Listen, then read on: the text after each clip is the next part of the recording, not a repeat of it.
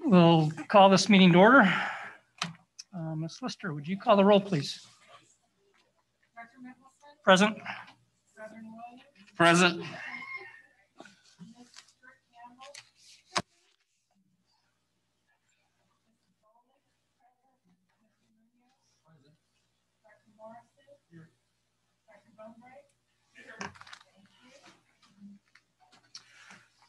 We will entertain a motion to adjourn to executive session. Uh, Mr. President, I move the board recess to executive session to discuss individual employee contracts and performance pursuant to the non-elected personnel exception, and the open meeting will resume at six thirty P M. Thank you, Reverend Williams. We have a motion. Do we have a second?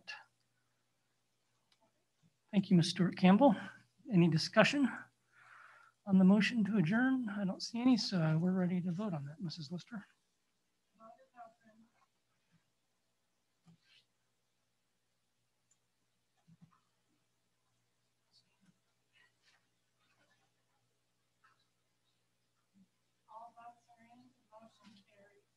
Thank you. We're adjourned until 6:30.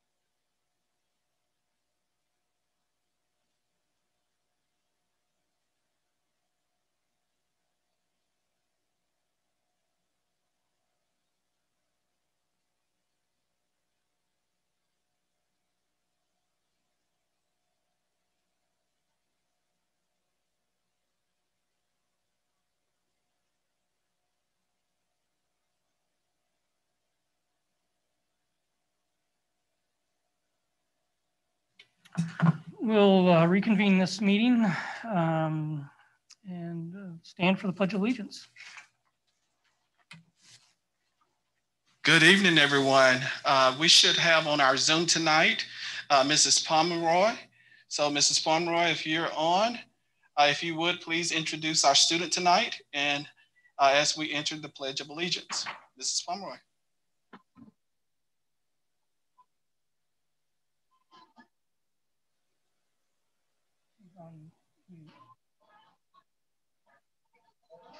Good evening, everyone. I would like to introduce our Jardine Elementary Scholar. We have Cadence here with us tonight. She's a second grader from Mr. Snook's class. Her mom is Mrs. Corey Hare, who is our Jaguar Academy coordinator. So Cadence, if you could lead us in the Pledge of Allegiance, please. I. I. Say it loud. I. Keep going. Pledge of allegiance To the flag of the United States of America and mm-hmm. to the mm-hmm. republic for which it stands, one nation, under God, indivisible, with liberty and justice for all.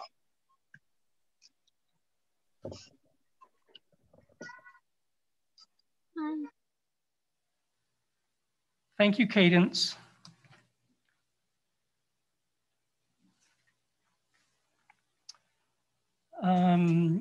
Next on the agenda is adoption of the agenda. We'll entertain a motion to adopt the agenda. Mr. President, I move the board approve the agenda as presented. Thank you, Ms. Stewart Campbell. We have a motion. Any seconds? Dr. Morrison offers a second. Any discussion?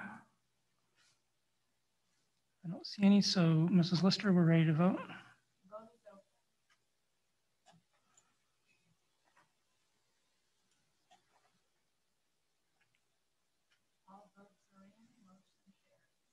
Thank you. We next get to have our senior of the month from Topeka West High School. Yes, Mr. Board President and board members, we are delighted to have with us tonight the senior of the month who is from Topeka West High School. Mr. Colin Cathy is going to join us online and introduce our student, Xavier Noriega. So Mr. Cathy, um, I believe, should be. Good evening.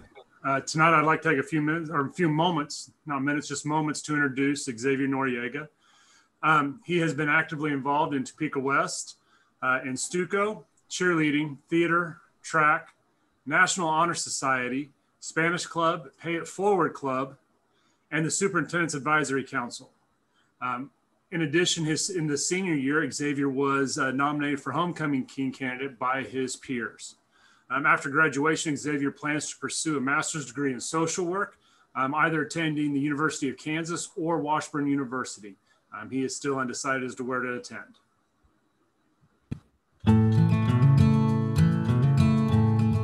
I am Xavier Noriega, and I am a senior at Topeka West High School. Xavier is one of the first students I met when I got at Topeka West a couple years ago. Um, and from day one, he was open to new changes, he was open to new ways of learning.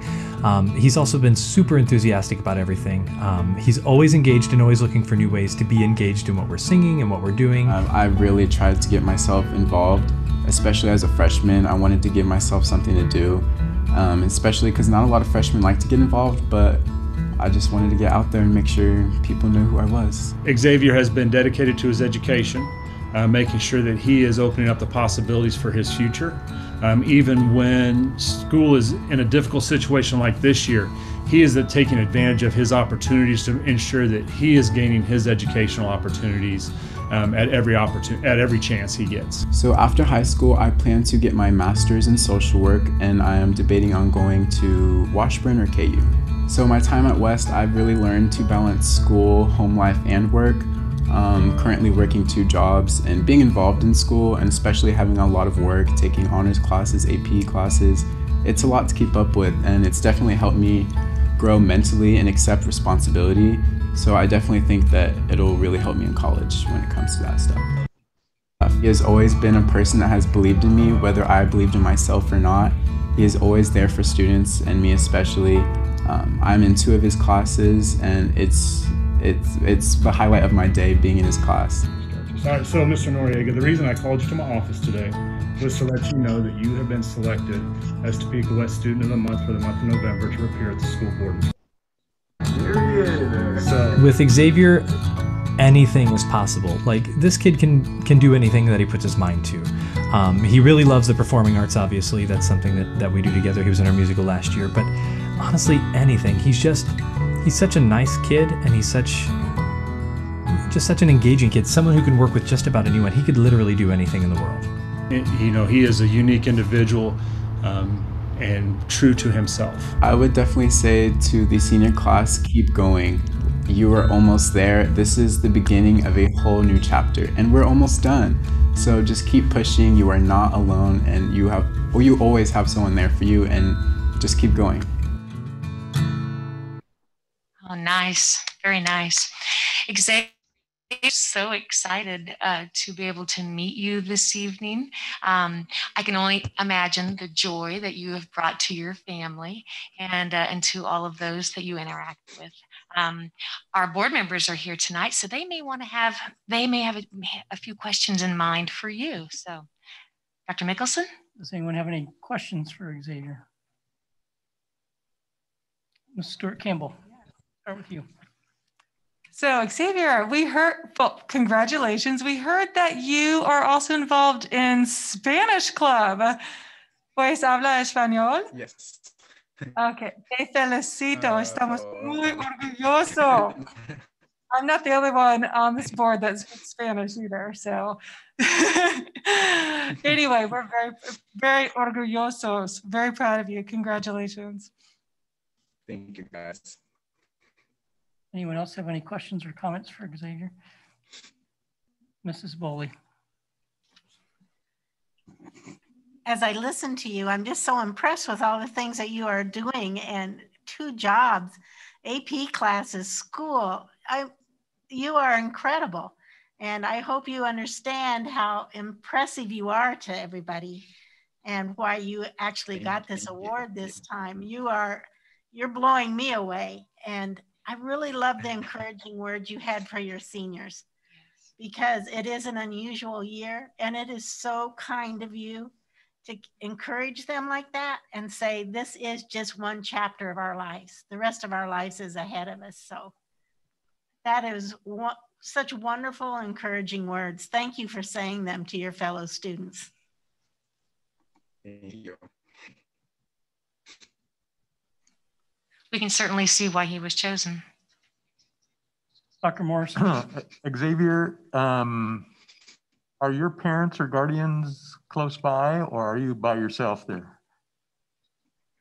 Um, my mom, she's in her room. She's watching on her phone, so. She's watching um, virtually. Is that correct? Yes. Very good. What What are your parent? Uh, what What's your mom's name and? Uh... Uh, her name is Janelle. We lost you there for a minute. Can you repeat that? Yeah, her name is Gina. Malone. Well, we want to give her congratulations as well. Um, um, we know that um, students um, have a lot of help all the way through school. So congratulations to them. And we're very pleased that you're thinking about KU. That's uh, uh, on this board. Uh, there's, there's a lot of purple and not very much uh, KU. So uh, we hope that uh, falls in place for you. So congratulations. My purple tie on. Thank you so much. Thank you, guys. Thank you. Hey, Mr. Mr. Kathy, could you run down that list of all the activities uh, Mr. Noriega has been involved with? I thought the list, you know, what I loved about it was he started, he, he recognized he wanted to be involved as a freshman and continued on through your senior year. I think I saw you in the musical last year.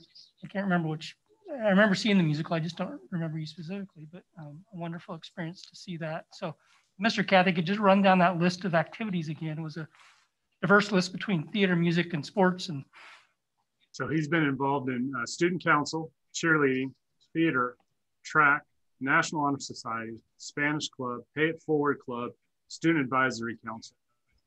I'm sorry, the student superintendent student advisory council. That's an impressive list, and I just encourage you next year as you uh, figure out where you're going to go to college, you stay involved, and, and it makes uh, that experience is so much greater. So congratulations to you and this great accomplishment, and good luck to you in the future. Thank you so much.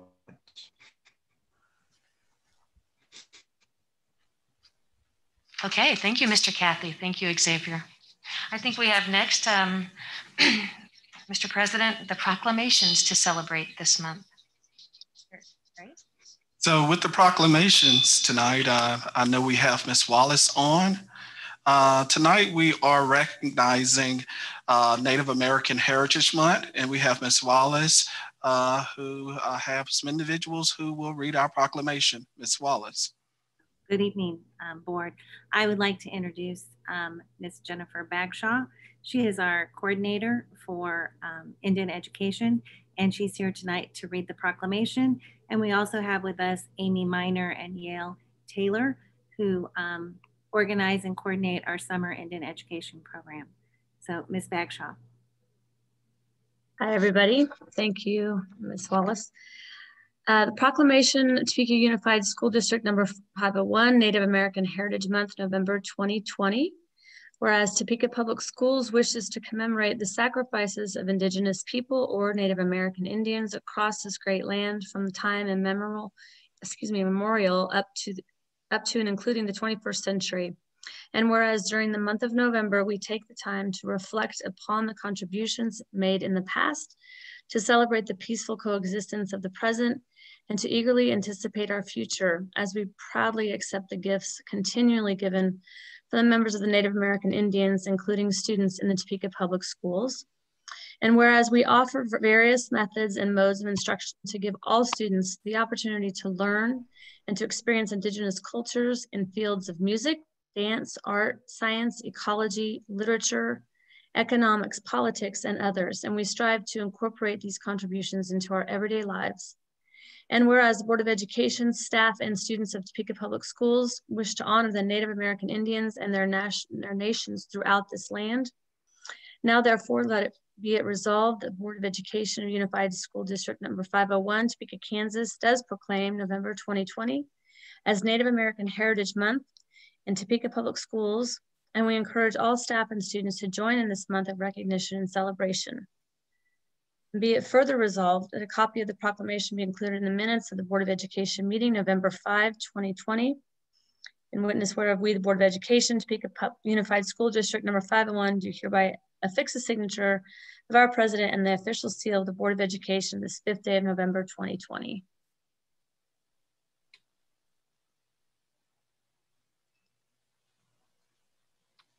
Thank you, Mrs. Bagshaw. Um, I, I, especially like in the proclamation, we take time to reflect upon the contributions made in the past, to celebrate the peaceful coexistence of the present, and eagerly anticipate our future. Um, that's a, appropriate words for this day and age in our society, maybe, and not only yeah. uh, dealing with Native Americans, but uh, we're certainly uh, pleased to accept this proclamation and recognize our partnership with Native American students in our school district. Um, and for those of you who don't know, Ms. Bagshaw's mother is Nancy Kirk, former board member, longtime board member. So we wish your mother well and please say hello to her for us. So.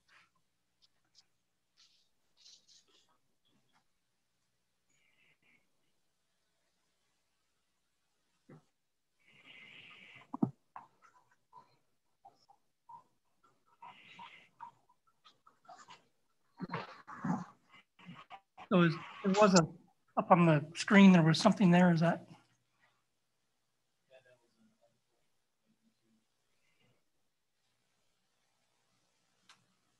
Uh, yes, on the screen, there was an article that related to indigenous people.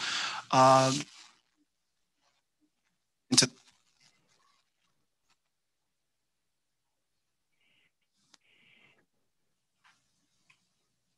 Mrs. Wallace, I don't know if you, Dr. Gray's um, microphone cut out a bit. He, he wondered if you wanted to speak to the article that's on the screen.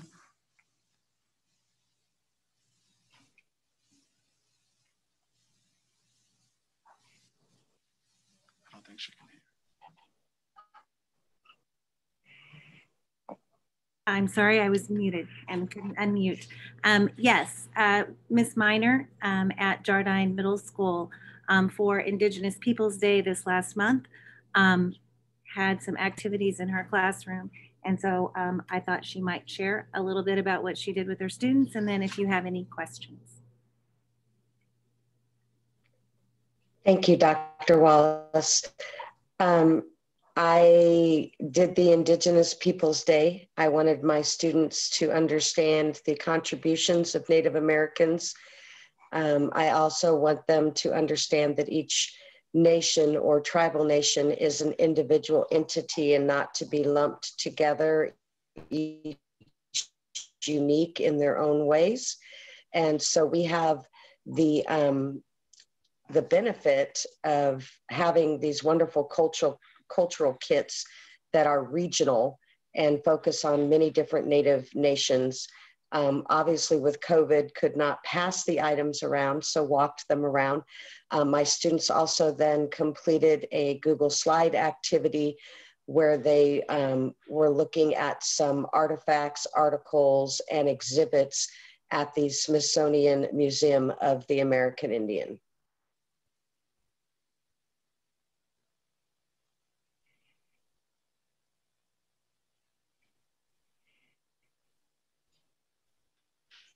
Great, thank you, Mrs. Miner. Thank you. Thank you.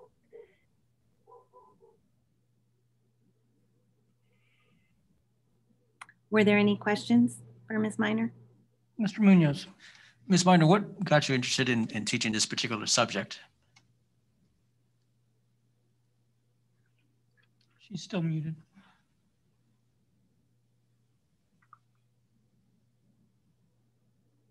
There we go.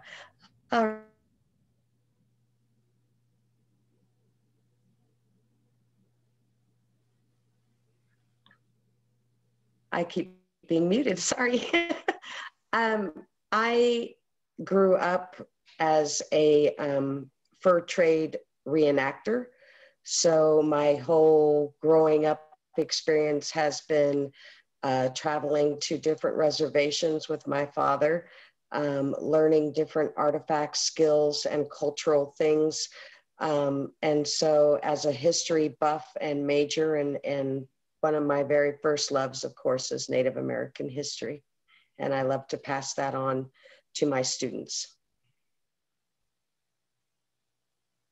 Well, I appreciate all of your efforts. I, growing up in Kansas, I think we must learn about you know those peoples who've been here for much much longer for, for generations and uh, having uh, prairie band and, and sac and fox and all of these nations which are so close to us i think it benefit everybody to learn more about uh, that history that's been here for a much a long long time. So thank you for all of your efforts. Thank you. Are there any other questions or comments? I don't see any. So thank you very much for the proclamation and uh, and all you're doing for our students, Ms. Miner. Thank you.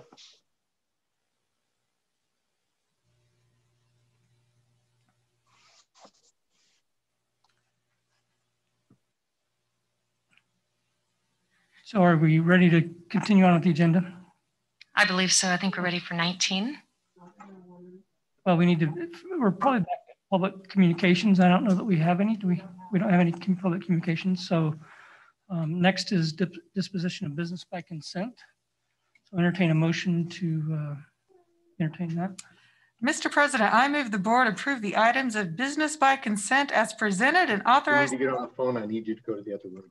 Oh, and authorize the board president or superintendent to sign the special project and purchasing contracts for and on behalf of the board. Thank you, Ms. Stewart Campbell. We have a motion to uh, approve business by consent. Uh, Dr. Bonebrake offers a second. Is there any discussion on any of the? I don't see any, so I think we're ready to vote, Mrs. Lister.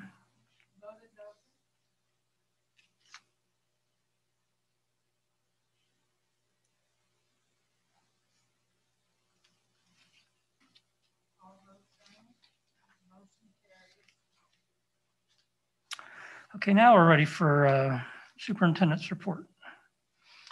I know that um, Dr. Anderson will be here soon, but we, we can certainly begin by thinking about item 19.1, which is the graduation rate report. We have Dr. Kipp who will be joining us here shortly.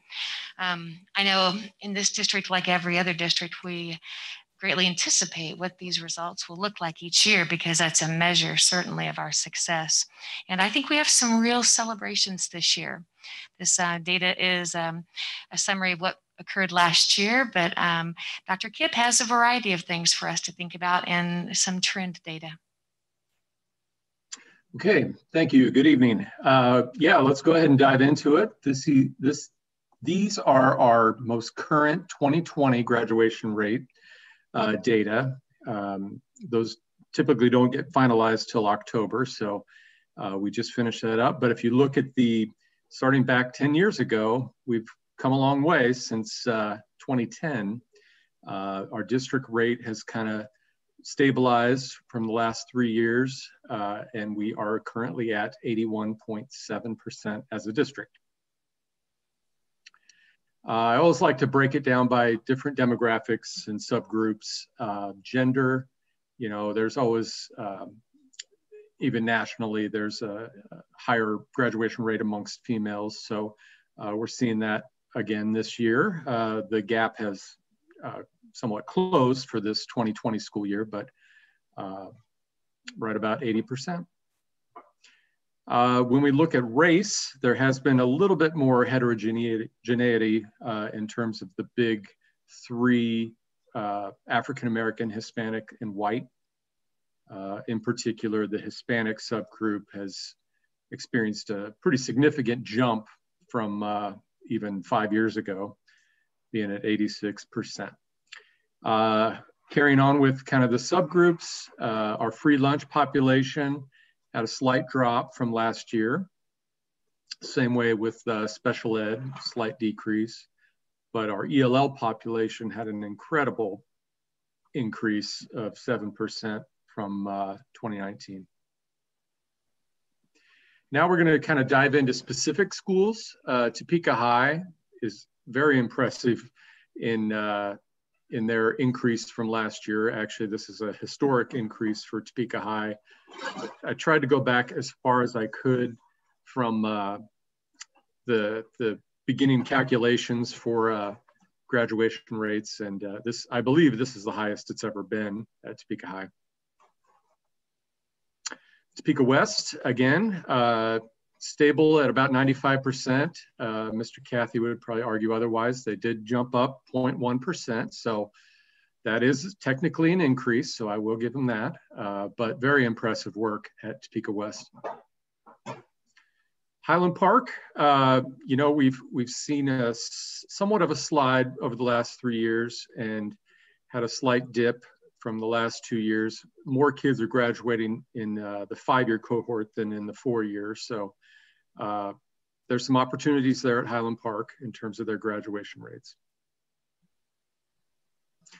Hope Street, this is another record uh, graduation rate, 83.6 uh, for a school that is, you know, traditionally uh, getting students that are behind in credits. It's always impressive and exciting to see them shoot up. Uh, and again, since the inception of Hope Street, this is the highest graduation rates they've ever experienced. Cap City, uh, you'll see a lot of variability in Cap City because some years they only have 10 or 15 students that graduate.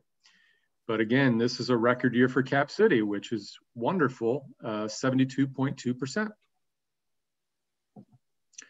now, just to kind of summarize, these are some five highlights that I wanted to stress. Uh, one, we did have a slight increase. 846 students graduated in this uh, COVID 2020 graduation year we had. Uh, it was a slight increase from uh, last year at 81.7. And again, these uh, five schools, and I, I kind of glossed over Avondale West, Cap City, Topeka High, Avondale West, and Hope Street, the largest increases in 10 years. Avondale West did jump from about 10% graduation rate to, I believe, 14, maybe 14.5%. Uh, you know, these, these kids are, it's a pure credit recovery virtual kind of program. And it's great to see increases in that, uh, in that program and as well as uh, enrollment increases.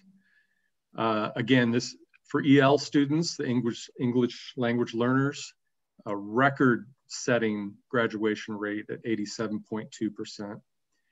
And a little nugget I found at Topeka West, this is their third consecutive year for 100% EL graduation rates at that school. So overall, some really impressive stuff uh, going on despite the pandemic. And uh, we're really excited to see trends moving in the, in the positive direction.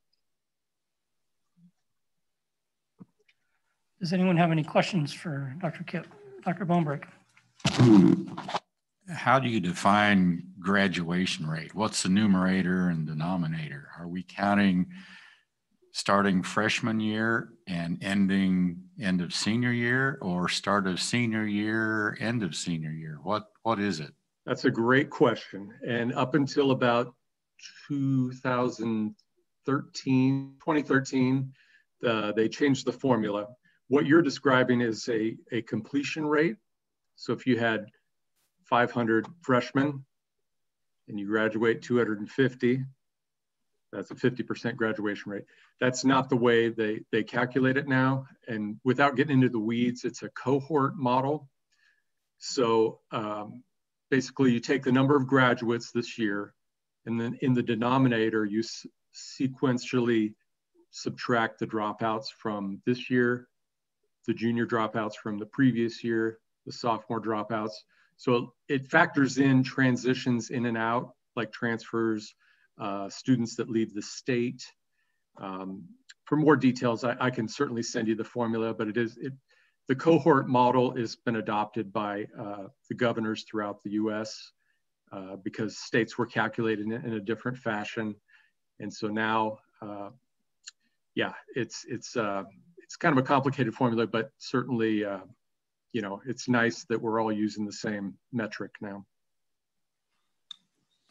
That's true, but it seems like we're losing a lot of students and we don't know where they're going. I mean, transferring out is a, that's kind of a cop out, isn't it? Not necessarily. They transfer out of our cohort and become a cohort of another, like Wichita. You know, we have a 20% mobility rate. And so if a child transfers out of our district, why should we be punished as, as that being a dropout from us when they could be a graduate from another district? But are they transferring out of our district? Are they just dropping out? No, well, we have the individual granular data, but if they do transfer to another Kansas district or a district in another state, uh, we have to have documented evidence of that before they'll remove them from our cohort.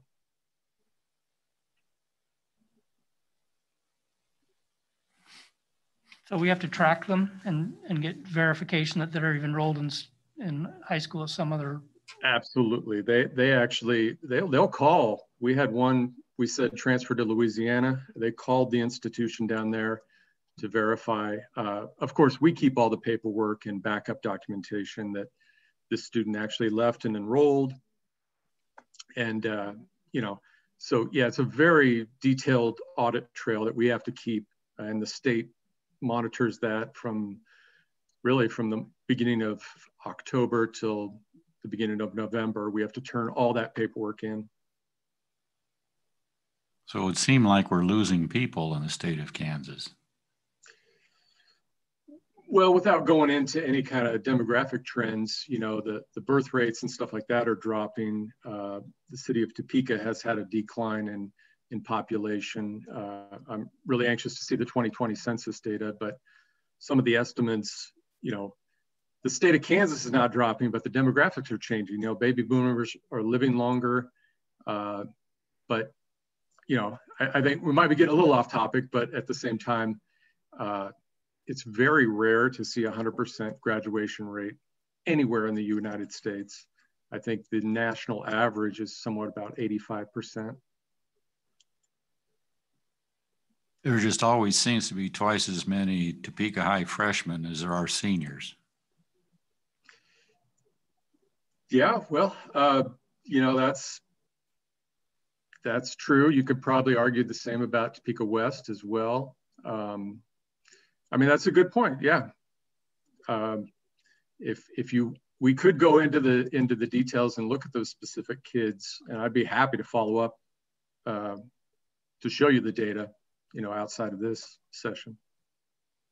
I would encourage, uh, as we continue to look at graduation rate and graduation data, it is a topic that is interesting uh, to look at all of the nuances that impact the decline and or increase at various levels. And so um, beyond this conversation and the time that we have, being able to look further at what adds up to the graduation rate and the dropout rate being 5% and and what how do you get to that point all of those things would be interesting so i'd invite dr Bonebrake uh, and anyone else if you'd like just a little more information just in your regular uh, meetings about um, what that looks like uh, that'd be a, a, great study group just to see that over time uh, and then seeing what also has worked. Uh, as Dr. Kipp just mentioned, the larger uh, freshman pool at Topeka West, as an example, they have a 95% graduation rate.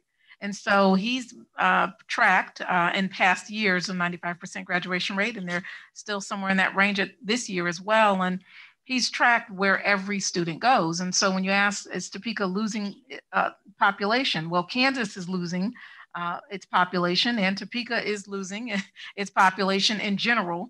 Uh, and so as students leave, uh, that's another trend. Uh, but we'd love to kind of go into many of those other pieces for this evening. However, I wanted to make sure that now that the rate is final, uh, that uh, Dr. Kipp has the opportunity to highlight uh, the increases that we've seen at Topeka High and in other places, as well as highlight the overall rate for the district that has continued to uh, improve over time. Are there other questions for Dr. Kipp about graduation rate, dropout rate, um, as we um, continue to celebrate uh, Topeka High in particular, uh, but all of our schools that have continued to show gr growth, particularly Hope Street as well, was I think a highlight for us this year. I think there's reason to celebrate, but we also have some questions, it looks like. Uh, Yeah, Dr. uh, uh, Morrison. and mine's very brief. Um, you, you talked about the national graduation rate. How do we compare statewide? Well, frankly, uh, current current rates, uh, you know, haven't been released. That's kind of why this you're the first to hear about ours, and you know, frankly, I haven't ha haven't heard from other county districts yet uh, until they report to their boards. The actual uh, KSD, uh, the Department of Ed, will not publish district rates probably closer to December or even January after they finalize everything. Um, so I really can't comment on what the current district or statewide rate is. Um, I think in 2019, where it was about 83, 84%, just shy of the national average. If I mean, it, I'm don't quote me on that, but that's that's roughly the the state rate. Yeah, that was my memory as well. Um, and uh, we should congratulate our administration. I mean, we are approaching the state rate start. And if you look way back and uh, at the beginning when we're counting, uh, we've really come a long ways.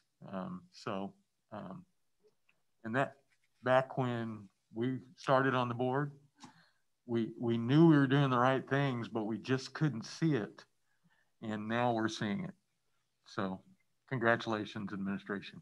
I think one of the things I know Topeka West has implemented several years ago and continued on with Mr. Cathy's leadership, I think is just that weekly meetings where they talk specifically about students and, and those students who might be kind of on the cusp of success or, or not having great success at graduation. And so I think a focus on those kids has been, uh, has shown some reward.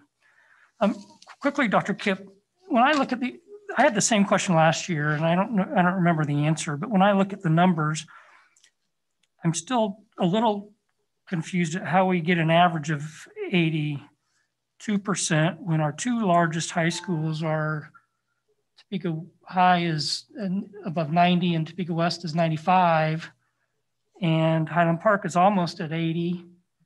Um, how come our average isn't higher? Because you can't, that's a great question. Uh, unfortunately, you can't average the average of a cohort model. Uh, it's just mathematically not possible. Uh, the other thing to keep in mind is like Avondale West, you know, has, while they increase, they're, they're still at, you know, 14, 15% graduation rate. So we So- total, all seniors, and if they graduate, then they're in the, uh, in the equation. It's, we take the average of all the schools and then average those? No, we do not. No, uh, the, the former of what you said. Uh, all seniors, graduating seniors are in the numerator for the district formula. All dropouts or non-graduates are in the denominator. And again, that's a cohort, freshman dropouts, sophomore dropouts, et cetera. So that Uh, takes into account Dr. Bonebrake's concern about the number of kids who might drop out, I guess, maybe. I'm just still struggling with it. Maybe.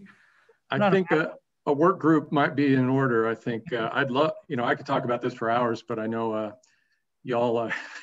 I'm just struggling to get, how do you get at 81.7% when you have, um, you know, our two largest high schools are 10 or 15 points higher than that. So um, it seems like the average should be higher, but. And Dr. Mickelson, I asked the same thing. I even had him call the Yeah. state to check that formula because we were just celebrating that over ninety percent. I'm happy to celebrate and not question the numbers, And but I. we we wondered the same thing because you know I thought that we would be uh, at ninety percent because our schools, our two largest schools, are above ninety percent. And as Dr. Kipp uh, shared that uh, formula, I think this really is you know college and career readiness is one of our main pillars uh, in our goals, and I think this really is. Uh, a work group that should be had in terms of just us spending some time or, or perhaps during a retreat um, to really look at not only that, but uh, you just mentioned the weekly models that we have in the senior spreadsheets, things that maybe not everyone knows yet because they're new on the board, or maybe some current board members might want more information on. I would uh, suggest that for our next retreat, college and career readiness, and what we're doing, especially with uh, COVID and the pandemic, and seeing how are we going to make sure kids continue to stay on track. Um, and this uh, being one of those, the formula itself, I think all of that would be helpful. Uh, in addition to what's not counted, you know, such as GEDs, um, all of those things would be helpful to um, have some discussion about if I could suggest that as a retreat topic for our next retreat. I, I think uh, that'd be a good good topic so we can focus on that. We know life is better with a high school degree. And uh, we used to hear about five year graduation rates. We don't hear that anymore. So, so maybe that would be helpful to, for the new board members to kind of understand what we're required to do and how we're how we're doing it and how we calculate it. That Definitely. sounds great. So let's put that on the agenda for our next retreat. Are there any other, Mrs. Boley? So I'm just really impressed with the ELL graduation rate. And so I'm wondering what what is that department doing that is creating such a great success and something that we can emulate in in um, our other groups? Well, and I'm going to ask and see if Ms. Curry is online because she certainly can speak to it given it's her department. But one of the items, uh, as we check and see if she's online, the other one of the items that I will tell you that senior spreadsheet looks at every single student. We have the data consult every month, but every school each week looks at that. Now, one of the major changes a few years ago uh, was making sure that ELL services were provided at all of the high schools. At one time, when I first started the ELL services, if a student needed those EL services, they had to go to Highland Park. And uh, we adjusted that practice. In fact, uh, Mrs. Stewart Campbell and I were just talking about how do we continue to do that within our middle schools as shown in our strategic plan. But in learning that all the students originally went to Highland Park, which at the time uh, was still uh, developing in the area of their graduation rate. Um, making sure that students, when they left uh, their school, they had that access at the very next high school. So each school now serving EL students, uh, they now have access to what all students would have in their cohort group in their neighborhood. Um, so that's one major systemic change. Uh, outside of that, uh, and I'll stop for a minute to see is Ms. Curry on? Oh, she's not on with us this evening. So we'll bring that back as well with our work group in terms of other items, unless Ms. Wallace wants to address uh, anything else regarding EL. Oh, and I forgot Wallace is joining online on the uh, screen as well. Ms. Wallace, are there other items uh, regarding EL that you'd like to address? Um, no, not specifically at this time that you haven't covered. So we'll add that piece to the work group so you can hear specifically the um, uh, some of the strategies, but the increase in EL teachers, that's one piece. And the change in making sure they can attend high school and where they live is a major piece. And then certainly those weekly meetings as well as those data consults. I'm glad you highlighted that piece. I, I have another question. So our plan for Highland Park High School, our other buildings are doing better. We're seeing progress there. So what are we planning on doing for Highland Park and our students um, there? Well, and there are two things. First of all, I do want to mention, Dr. Kipp, can you share what was Highland Park's graduation rate, let's say five years ago? Five years ago, it was 74.1%. And where was it uh, six years ago? Oh, there you go. There, we're looking at that yeah. longitudinal line. Oh, good. Okay. Yep. So, you know, so Highland Park has had kind of this up and down uh, movement to some degree. Uh, the uh, 68% back in 2010, and then seeing that they've always kind of straddled between that and 70%. So, you know, jumping to the um, 80% range for them, in part right at that 86.9 um, percent for them was right around the time um, uh, Dr. Perry came and a lot of those data consults. While Dr. New was there, the uh, Teen Pregnancy Center was put in place. So as those wraparound services were put in place and then continued under Dr. Perry, we saw continued gains. I will tell you, when we closed in March, um, students that had uh, difficulty with Wi-Fi and all of those services, uh, truly had difficulty continuing their education in a more uh, meaningful way. Uh, we're still pleased that the 79% um, rate uh, is there. We would have liked to have seen it at 80%, but I'll even tell you with the 79%, many of those students came back this year to finish. Uh, and other students, uh, they're working now and they were uh, not desiring to return. And so, you know, I think a lot of the pandemic really impacted what this year's rate looks like. But I fully anticipate uh, that Highland Park will certainly um, be between 80 and 90 percent as they've been, but we as we try to get them over that 90 percent uh, threshold. Uh, and if any fund from Highland Park is on with us this evening, we'll have them speak to that as well. And uh, Mr. Gowan or any uh, Highland Park, Mr. Buckendorf, uh, or team uh, members are on. Well, Ross, Eisenhower, Highland Park High School are very dear to my heart. That was my area when I taught with 501. And I always know that there's a lot of need on that side of town. And I just hope that we can find a way to find that graduation rate for them, mm-hmm. a higher graduation rate, to give those um, students all the advantages we possibly can. So I'm hoping that whatever is working at the other high schools, if it can be transferred, um, whatever can happen for those students, I would really stand behind that. Yes, ma'am. And so, you know, under the equity presentation to the board, we'll uh, add graduation rate back on there. You know, talk a little bit more about EL, talk a little bit more about Highland Park and some of our highest poverty schools. So they're nearing and have in the past, at least in 2018, surpassed the state's rate uh, and the national rate, but we certainly want to continue to see 90% and above for all of our high schools. So we'll add that to the equity presentation in the coming months. Thank you. Are there any other questions for Dr. Kipp? Mr. Munoz.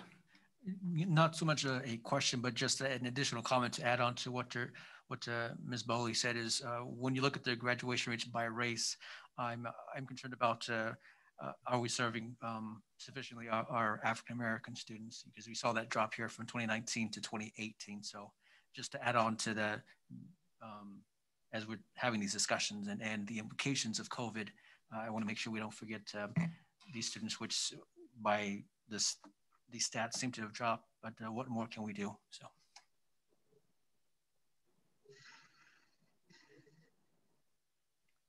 Thank you, Dr. Kipp. You bet. Thank you, Dr. Kipp. And as we uh, move on to the uh, next items within our uh, agenda, uh, first of all, let me uh, apologize in that I am here and was here in the building, two meetings going at once, but I have come in at the most exciting time, one on the heels of graduation, and now a little bit about our COVID conversation. Um, and so our COVID discussion uh, this evening, and we also have our athletic matters. I believe uh, Mr. Colin Cathy is on with us. Yes, ma'am. Under, under COVID uh, conversation, this is really an open dialogue about a number of things. We're going to start off and talk about athletics. Um, and uh, Mr. Cathy has provided a proposal for the um, fall season athletics. And I'll turn it over to Mr. Cathy. Uh, thank you, Dr. Anderson. We are looking at uh, starting fall athletic or winter athletics starting uh, November 16th. Um, we are asking the board to consider um, when, when we look at these items, uh, we looked at the high risk sports, which is wrestling. We're, at, we're looking at postponing the start of practice and competition um, at this time to reevaluate and make a final recommendation uh, for the season in, in December. Uh, with the, the increase in our community spread and then also the lack of ability for personal protective equipment to be worn during uh, wrestling um, makes it a large challenge right now. So we felt it's best to postpone those to, be, to begin the season and then reevaluate and make a recommendation in December. Uh, swimming, which is a uh, low risk uh, event, uh, just to move forward with each team. We're looking at allowing each team to go move forward. Uh, practices in separate pools as through the through the, the, swimming pool, we have separate entrances, and then uh, moving into meets, limiting that, those meets to eight teams of 25 participants per team, um, which would allow us the uh, to maintain the current uh, recommendations from the health, the Shawnee County Health Department. Uh, boys and girls basketball games, uh, we would like to separate those out, um, play the boys games, uh, our girls games on Monday and Thursday, girls or boys games on Tuesdays and Fridays. Um, and then just maintain those events uh, down where we play the JV and varsity in one gym and then our freshman game in the uh, auxiliary gym. And then also follow those event plans um, as outlined, which would allow us to also include student section of 75 students. And we would help highlight that with students who are um, having academic success and engaging in class.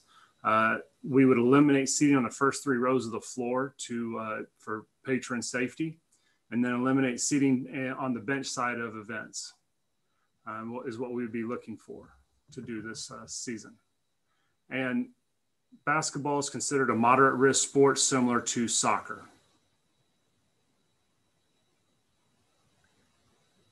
And so at this time, Mr. Cathy, uh, uh, are you, you, asking for your proposal at this time uh, to be approved uh, and the board's questions to be entertained at this time for all matters that you've discussed, or did you want to go sport by sport?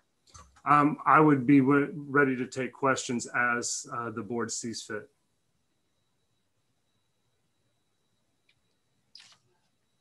Mrs. Bowling.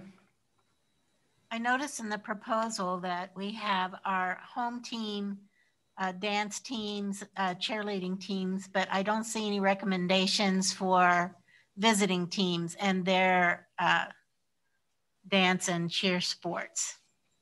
Our league has uh, made the recommendation of moving forward with no visiting cheerleaders.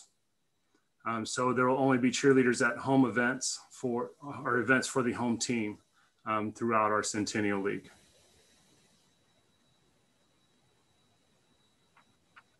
Ms. Stewart Campbell. Thank you, Mr. Cathy. My question is, I, I saw that there would be daily temperature checks and also an online COVID questionnaire. Uh, can you speak to that? What is this, the online COVID questionnaire? What we have done is we've created a, a Google form in which the principal and athletic director at each high school are the only ones that have access to that.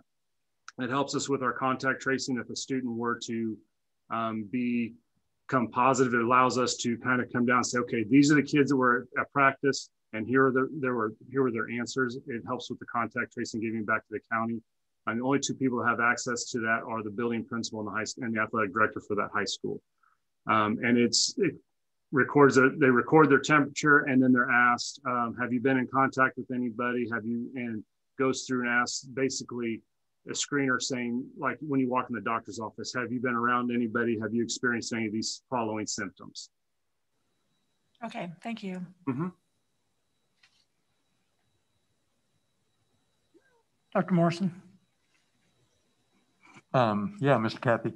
Um, I assume if we're going to all virtual, if that happens, that all these practices and everything will stop.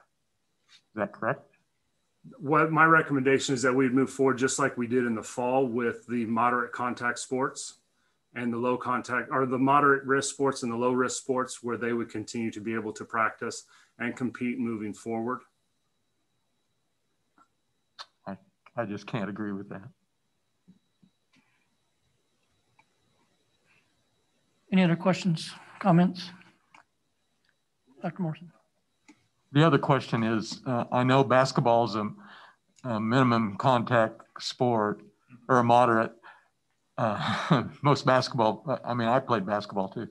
Um, the the rec CDC recommendation is 10 to 15 minutes um, within six feet. I don't think you can play basketball without being up in somebody's face longer than 10 or 15 minutes. That's my opinion. Um, unless you can test all the players, um, they're not going to be social distance. They're not going to be wearing masks when they're running around. Um, so they're at risk. and that's all there is to it. And this recommendation also comes from what we did in the fall um, based upon our moderate and our high risk uh, sports and our low risk sports. So that was a derivation of where we came up with these recommendations. Yeah, we weren't uh, in the red zone in the fall sports.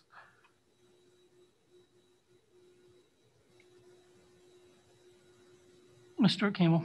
Mr. Cathey, what's the plan uh, for middle school sports? Is it the same as in the fall, just like intramural? Yeah, so we'll be moving with the middle schools. Um, as long as we are not able to bring all of our students onto campuses to meet full days, um, we're going to remain in the uh, intramural model um, this year. Okay, thank you. I noticed uh, the district recommendation is 525 maximum uh, people in the auditorium. I think the county has a 500 people recommendation for max. Is that? And that'd be over two gyms. So we'd have, so when you look at this, we also have two event sites where one is the varsity and JV game, and then the second event site would be the ninth grade game, um, which would be at 645 um, in the second gym.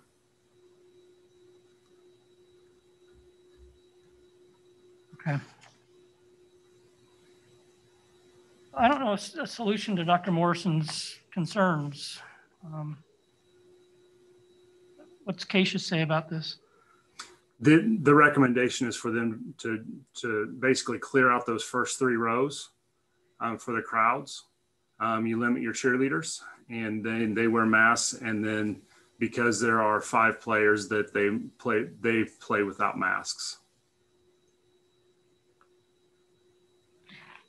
I would like to uh, share that the first basketball game, or any game for that matter, in the fall is after Thanksgiving. Is that is correct? Is, is that correct, sir? Yes, the first game would be um, in the second week, or yeah, in the first week of December.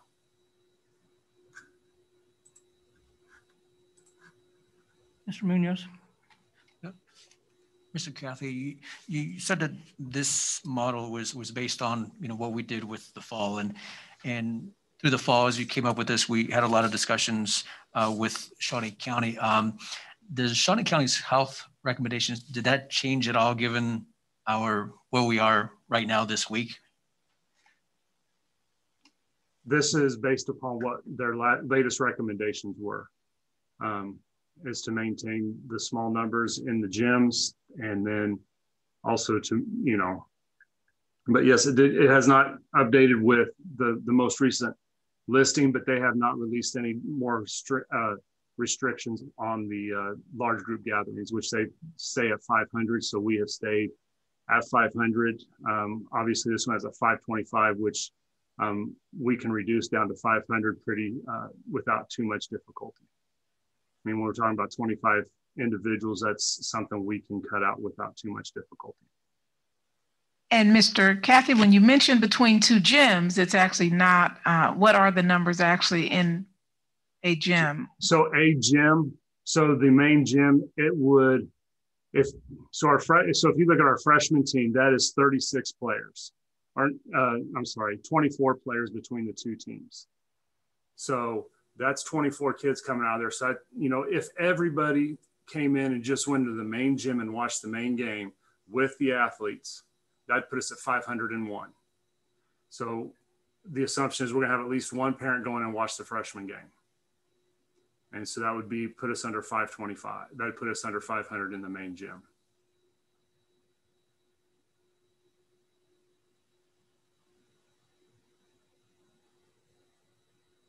Go ahead, Mrs. Bully. Is there any possibility at all with the predictions of the virus possibly getting worse in the in the near future? Maybe go off at you know go down further in the spring. Is KSHSAA thinking at all? I mean, our numbers are much different than they were in the fall. Do you know if KSHSAA is thinking at all about maybe postponing and rolling back seasons? Um, until our numbers come down? Not at this time. They, their latest recommendation that we received was to move forward um, as scheduled. And was there any explanation behind uh, moving forward with the COVID numbers as high as they are in the whole state. We're not just talking about Shawnee County. The whole state, the numbers have climbed tremendously. And so I just wondered if they're concerned at all about the numbers climbing across the state.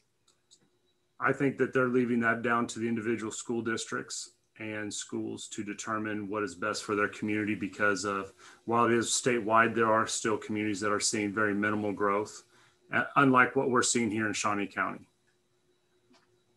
So there's been very little direction given from them to as as a organization. For wrestling, they want them to change their uniform between matches. That's their solution. Yeah, change their change their uniforms, um, take a shower, disinfect the mats. There's just a lot of things that we'd end up having to do that, you know, we're, why we've, with that being the high risk category, we've opted to. Wouldn't, it wouldn't stop the spread of COVID, truthfully. So if I may offer some uh, next steps as an, uh, a couple of options, if the board is uncomfortable with addressing this at this time, uh, again, the first game is not until later in November and uh, after uh, Thanksgiving. And while practice would have normally picked up uh, at the very end of November, the next board meeting certainly is prior to any next steps that offers the board an opportunity to look at the scorecard again uh, that would be one option. Uh, and that may uh, delay movement at this time and an opportunity to look at that. The second option, if I may offer this, that each sport is listed out here and we could proceed perhaps with some of the recommendations that are listed. If you are comfortable with some of those recommendations and acting on those, uh, that by sport, if you'd like to act on those at this time, uh, that you feel like um, have less uh, risk, and uh, and then for others, if you'd like to delay that.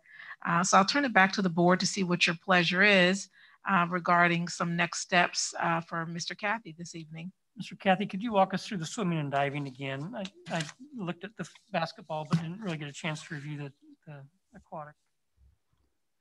Uh, yes, sir. So swimming and diving, um, we would be looking at uh, 25 individuals per swimming pool. So uh, each team comes at a separate entrance.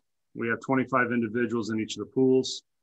Um, and then they would practice those. So right now it would be Topeka High and Topeka West each have a swimming team. Highland Park does not participate in swimming at this time.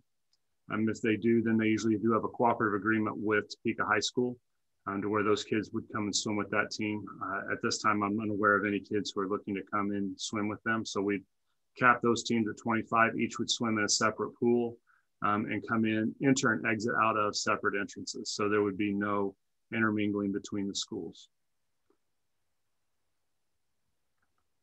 And then when they have uh, their competition? Competitions, we limit that to um, eight schools, a maximum of eight schools um, coming in with 25 participants per team. Um, that would put us at 225. We would then limit the number of tickets that we would give out to in, at Hummer Sports Park um, to go into the auditorium at 225. So that'd be two per uh, participant, keeping us at 28%. And 400 actually be 450 would be our uh, our total number of people in the building. And Mr. Cathy, if I may uh, just uh, ask, uh, is fine arts and band. I know that was a conversation previously regarding that. And at the time we were waiting for equipment to come in. So can you share how, how would that be handled? Fine arts and with the band, fine arts would continue to move forward as we've been moving um, with their virtual performances. Um, and then band would be performing, they would be at pregame, we would limit their the band size to 30.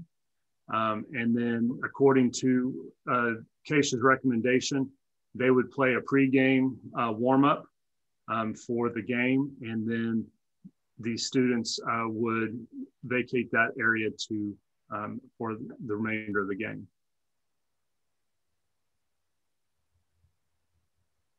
So they would be coming in and, and performing at the games.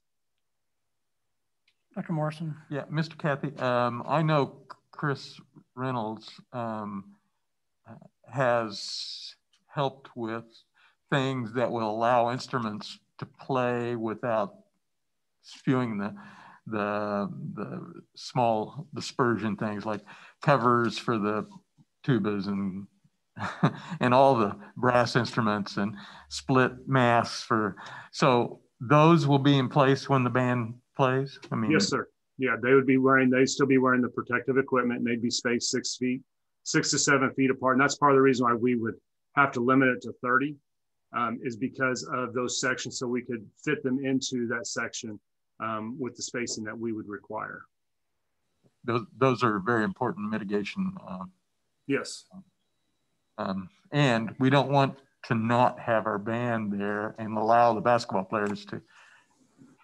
Correct. Um, but also the, the, the swimmers, I uh, that's a fairly safe sport. Um, and I, I, I, could go along with uh, swimmers if I, everybody. I tend to agree. Very, very careful with that. Um, I mean, just, you know, the coach has got to be uh, very cognizant of mask thing and the social distancing thing. And um, I mean, swimmers tend to get close together and um, celebrate. And, and you know, you, you, you, just can't do that in a pandemic. So um, I, I could go with the swimming thing um, and even practice with that, but I'm not sure in a red that I could I could go along with uh, basketball, at least until, like Dr. Anderson said, for two weeks. Uh, so, with that statement, if I may uh, ask, then, uh, since there are some sports you feel uh, as though you're comfortable with and others that you want more conversation about, uh, Dr. Mickelson, are you okay with us just going sport by sport so that uh, Mr. Cathy has direction? And Mr. Cathy, um, is bowling one of our fall sports? And did you want to speak to that, sir? Bowling is a winter sport. It does not start till December. Um, we are still waiting to hear back from the proprietors um, as to what they're uh, willing to do for, with us and work with us um, as we move forward for bowling. Um, and then those final recommendations from the state for bowling. Um, as with crowd limitations, there may be additional uh, fees or other things that have to come from those proprietors as those are private businesses um, that we use. So we are waiting to hear from them before we make any recommendations. So I shared that because if there are other sports during the winter that we're not bringing up at this time, there may be reasons such as that. And so we'll be coming back to you again potentially uh, in about a month regarding some other sports as well. My apologies. Yeah, I had a question. Bowling, where, where does that fall on? Is it lower, moderate, or higher risk sport? It would be a low risk sport. Um,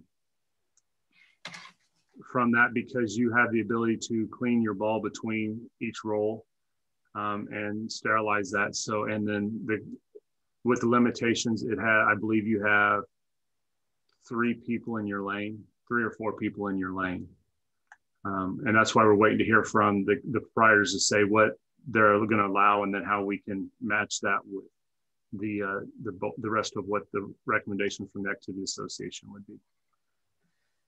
Mr. Cathy, did I hear you correctly too that the bands would just play prior to the? That was yes, that was a recommendation that came from both uh, from the band directors uh, was to do just just do the 20 minute pregame. And I will share, I believe Mr. Reynolds is actually online with us as well this evening. Now, I, I hopefully I am one for three because I called two other people and they weren't on just yet. But Mr. Reynolds, uh, is he on with us, Mr. Gallen? I'm going to circle back to that. And I believe either he was on and maybe he's uh, uh, dropped off for a moment. So I'll, i believe we can come back to fine arts and just see if there are any other items he wants to mention because he may want to speak to that this evening. While we wait for him to get on, it just seems to me I would defer to their however they want to do that. But if they wanted to go longer, I if they're going to be doing it for 20 minutes before the game and we think it's safe then, I I would suggest that it would be safe at halftime or whenever at timeouts. But um, you know, and that's I'd defer to there if they if if they really just want to do it for 20 minutes before the game starts and go home and And so I'll, I'll ask him to speak to that at the end of this piece. If we can uh, ask, I'd like to ask for the wrestling, and I'm just going to read out loud what we have listed according to Mr. Cathy's proposal. Mr. Cathy is proposing, uh, and we are proposing uh, uh, the reevaluating uh, wrestling and making a final recommendation for the season in December. And at this time, postponing the start of practice and competition for wrestling. Uh, is that we'd like to ask for the board's uh, approval of that recommendation to postpone the start of practice and competition and to reevaluate that in December. Any discussion on that or nod your head if you think that's appropriate? We're all like we have a consensus on uh, wrestling. Uh, the area of swimming, uh, it uh, each team will practice in a separate pool with its own entrance. In-person meets will be limited to eight of 25 participants per team. Uh, we have consensus uh, from the board on swimming? See several head shakes and a thumbs up, so I think we're good there. It's like all board members are, uh, we have consensus on swimming. The area of boys and girls basketball games played on separate nights. Uh, it says girls games will be played on Monday and Thursday. Boys games will be played on Tuesday and Friday. Uh, the discussion this evening, uh, uh in addition to that, that is Mr. Cathy's proposal. Uh, uh, your discussion has also been to potentially look at bringing that back to have conversation at the next board meeting. So uh, we'll start off with the uh, playing on Monday and Thursday and Tuesday and Friday and starting practice. That's Mr. Cathy's proposal, correct, Mr. Cathy? Yes, we'd be starting practice on uh, November 16th. And then when we get into games in December, we'd be splitting those nights.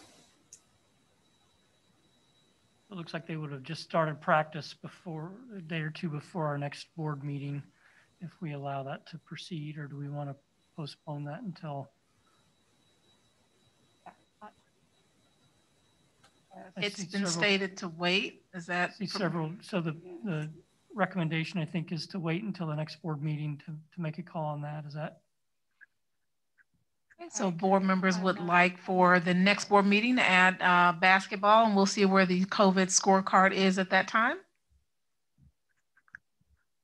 And uh, the area of um, the um, bowling is still TBD.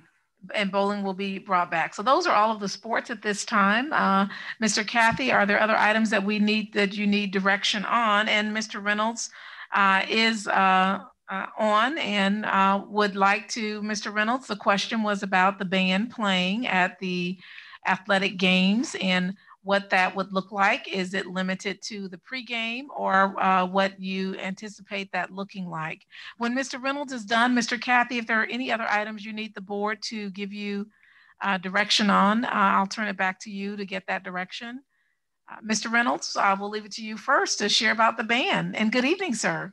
Good evening, uh, Dr. Anderson, members of the board. So uh, Mr. Cathy and myself, uh, Mr. Bradshaw, uh, Mr. Evans, we've all been having discussion about pep band and what that would look like in our current situation. Um, to, I've caught the tail end of some of the discussions about uh, staying for the entire game, playing throughout what's going on. Uh, the National Federation of High School State Associations is still recommending 30 minute play times with uh, bands. So even with our mitigations of wearing masks and having bell covers to reduce the, the, the risk, it's still recommended that we're doing things at 30 minutes. Um, Mr. Cathy and I had spoken in detail about alternating uh, between a boys game and a girls game to make sure that we have equity across the board of, of, of making sure that we're representing both games.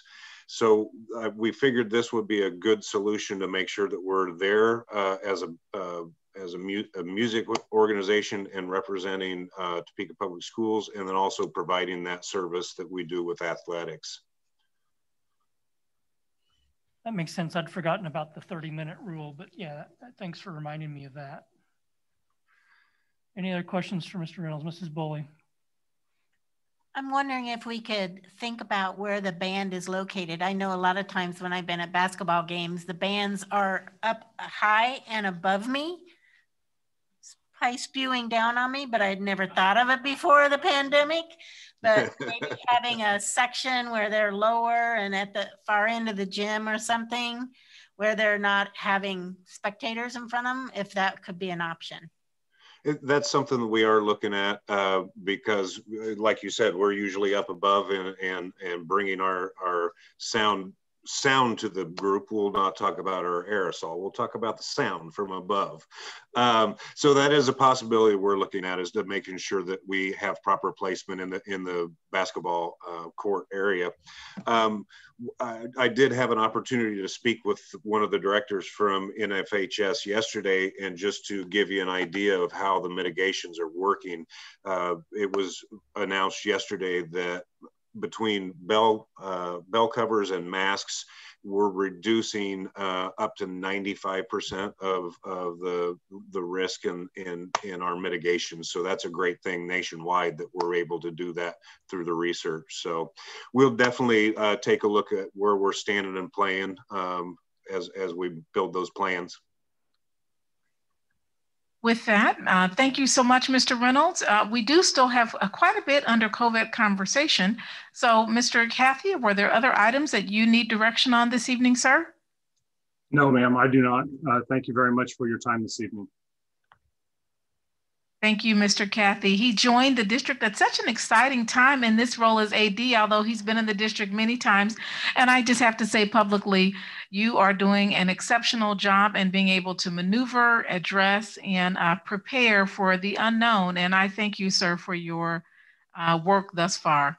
Thank you very much. I appreciate it.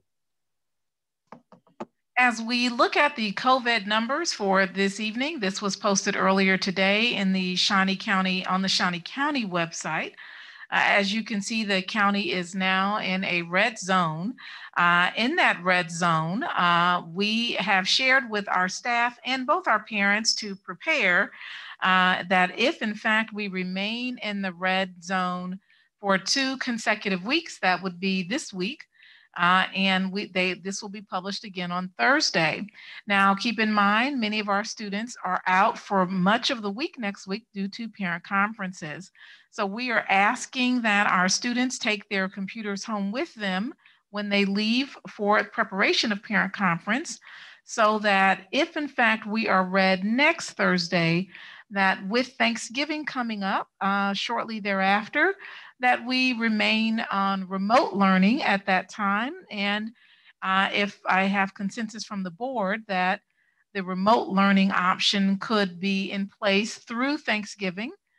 And at the end of Thanksgiving, if the scorecard declines out of red uh, into the orange or yellow or other areas, then we would re resume school as we normally would have done after Thanksgiving. And we have full confidence that our community will be working to reduce that number. So we are asking for the boards. Um, uh, at this time, we're asking just for consensus of uh, support in uh, that plan that if next week we are still red, that at this time we take the step of um, planning for remote instruction through the Thanksgiving break. Any concerns about that? Doesn't look like I see any concerns and any questions about that. Uh, we also have inclement weather and we want to talk about what remote learning means just as the reminder of what that means. Not seeing any questions. Remote learning, uh, previously, if you recall, we started the year in remote. So remote learning would be at home with the device and learning uh, at home because of the red uh, number. So they're, they're, that they would be totally remote through Thanksgiving. So that's what that means. That's not a hybrid model. That's not an in-person model. So that's for clarity for all of us to know what that looks like. Uh, we will be giving our parents a weekly update. So Friday, they'll get the COVID communicator, which will have the Shawnee County card it also will have our internal district card uh, measuring what our uh, rate has been during the same time period of Shawnee County.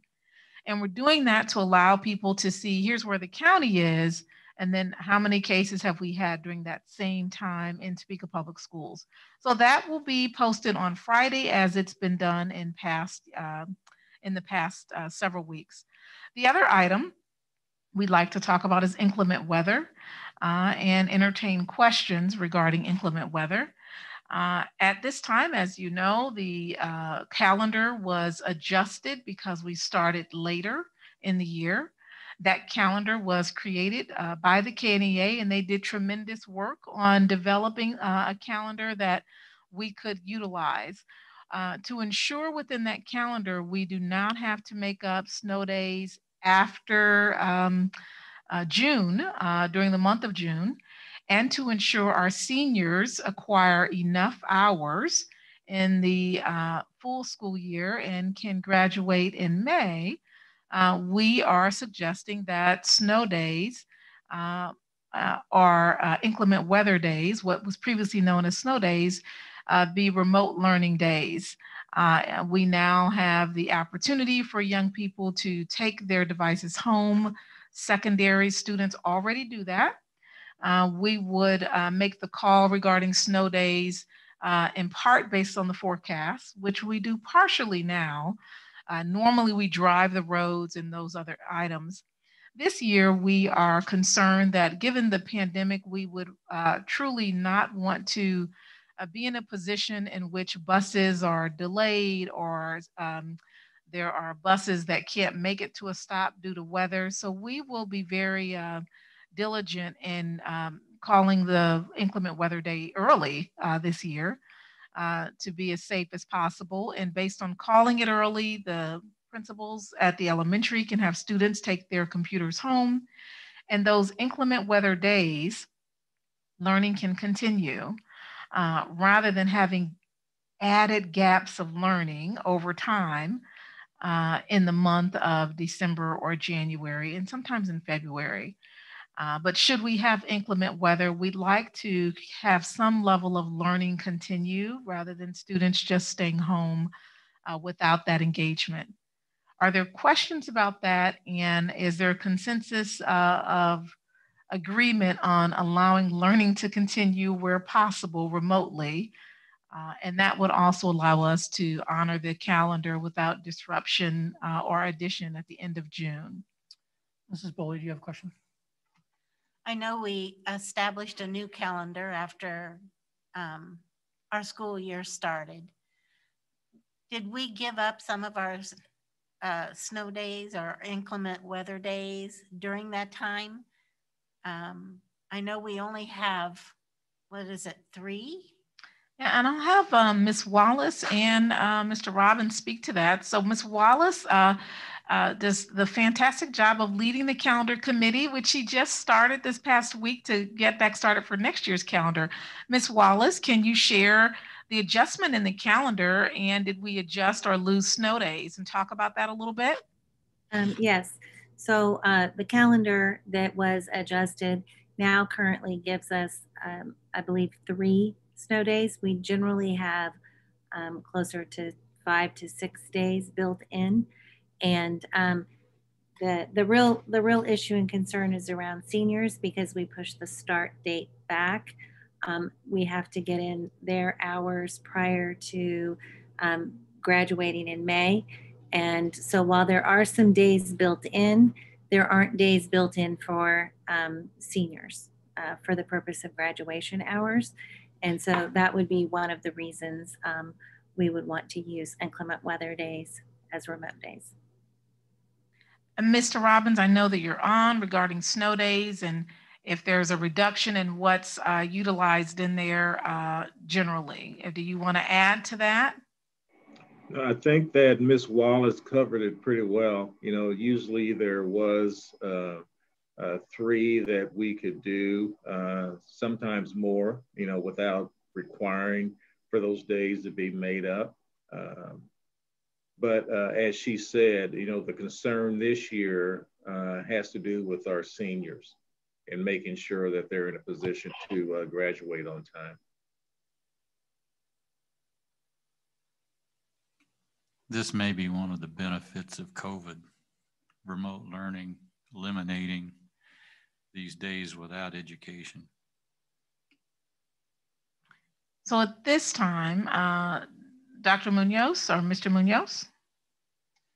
Yep. My question is, um, when we adjusted and we reworked these uh, the calendar days, um, what was the process of of teacher input? Whether whether it was the KNEA or I mean uh, the any local yes. NEA, but how does that process work? Ms. Wallace, can you share the process of the adjusted calendar, how that was made, and, and who helped make that?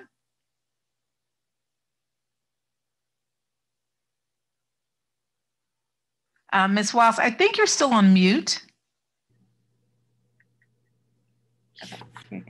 So our current calendar that was revised is um, uh, was developed by KNEA when we knew we were pushing the start date back 18 days. We wanted um, to give NEA the opportunity to have voice. And so they proposed the current calendar.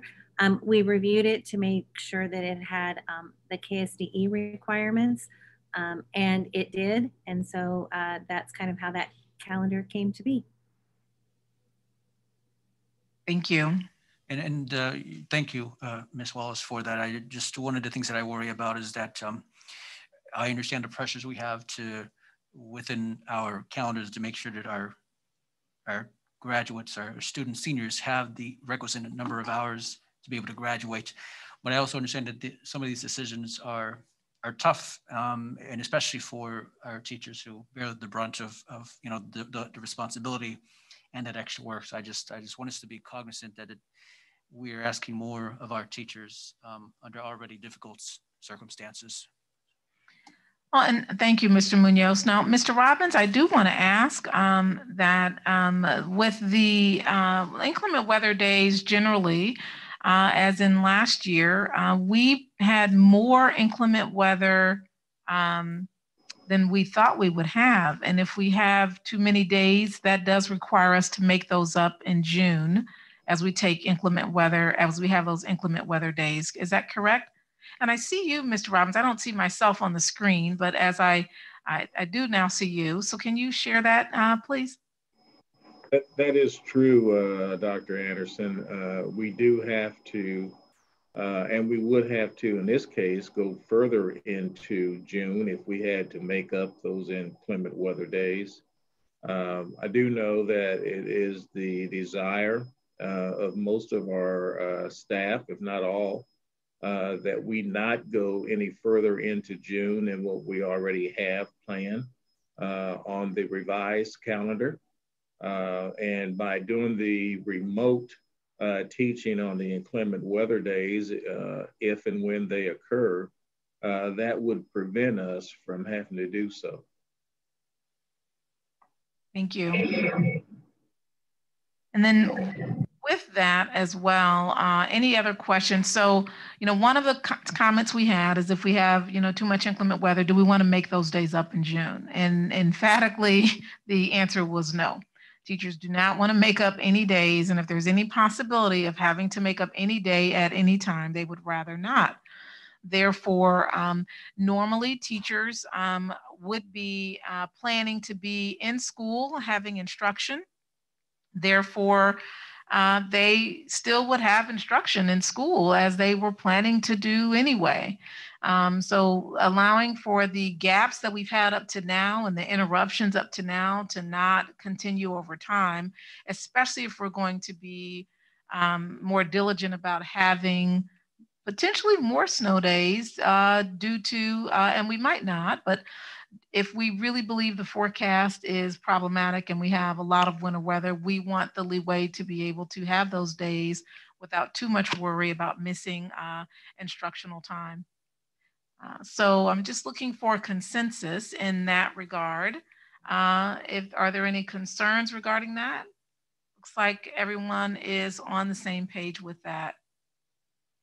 All right, as we move on to the next area. And again, thank you, Mr. Gowan, for uh, pulling up all of our cameras so that we can see uh, Ms. Doc Dr. Hackett, myself, and all the board members uh, uh, this evening on the screen. We do appreciate you uh, turning on all the cameras. Dr. Anderson, can I just interject one, go back a, a moment to fine arts? And if if we have data that the, the mitigation uh, things we've purchased will minimize aerosolization by 95%, that's probably as good as a mask, I would guess. It seems like fine arts ought to have a little more latitude to participate in some of those activities that they've traditionally been able to participate in.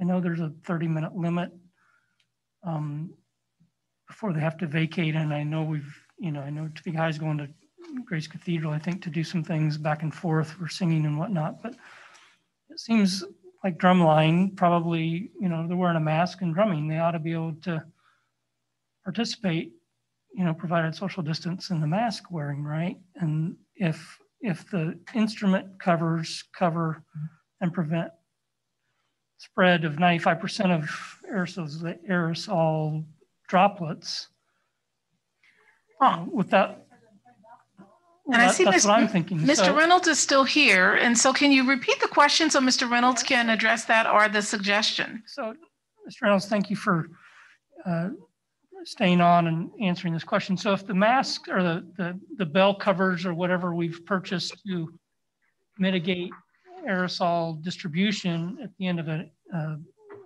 brass instrument, for example, is that the equivalent of a mask?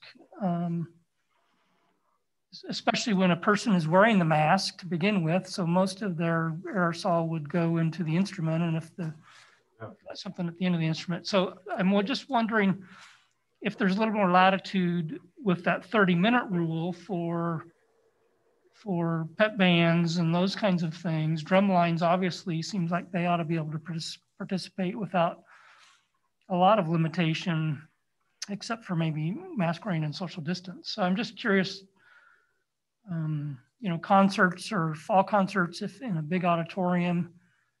Um, I don't know. I get. I'm just looking for more clarification. I guess. Well, I, I appreciate the,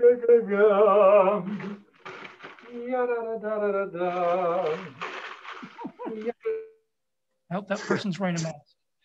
yeah, I hope they're wearing a mask as And it well. perfect because we're talking about fine arts. So what a little bit of music, right? When we're talking about fine arts. Mr. Reynolds, sir. Yeah, so uh, I appreciate the the questions, and and that's where we're running into uh, ongoing research because right now the um, the the data that is being received in is in a controlled environment within um, a basically what a classroom would would look like. Um, so there's uh, NFHS, uh, University of Colorado, and, and, University of Maryland are still doing some research. Um, as far as being able to have concerts, um, we don't we don't have a lot of information about how audiences uh, uh add to that. Quite frankly, yes, we could have drumline and strings, but uh, we haven't explored uh, indoor uh, performances of much of anything lately. Um, it's like, like I said, it's an ongoing uh, concern and question that we're looking into.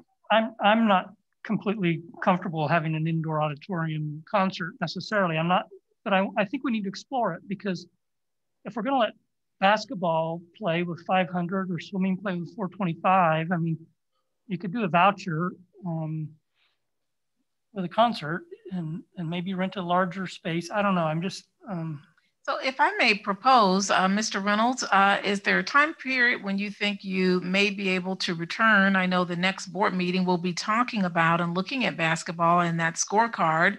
Is that a time in which the fall um, uh, fine arts matters can uh, be revisited based on what you do know at that time? And for the things that you aren't fully well versed on, you certainly can come back in December as well. But um, is that something that you can continue this uh, presentation at the same time? It seems like that would be a good time as we're talking about other indoor activities. Is that okay, sir? Absolutely. We have uh, kind of brought this up with our staff that we are going to reevaluate um, after uh, the new year uh, so we could review some more data uh, that and be able to prepare for concerts. So our staff has been told in January is when we would revisit the policies.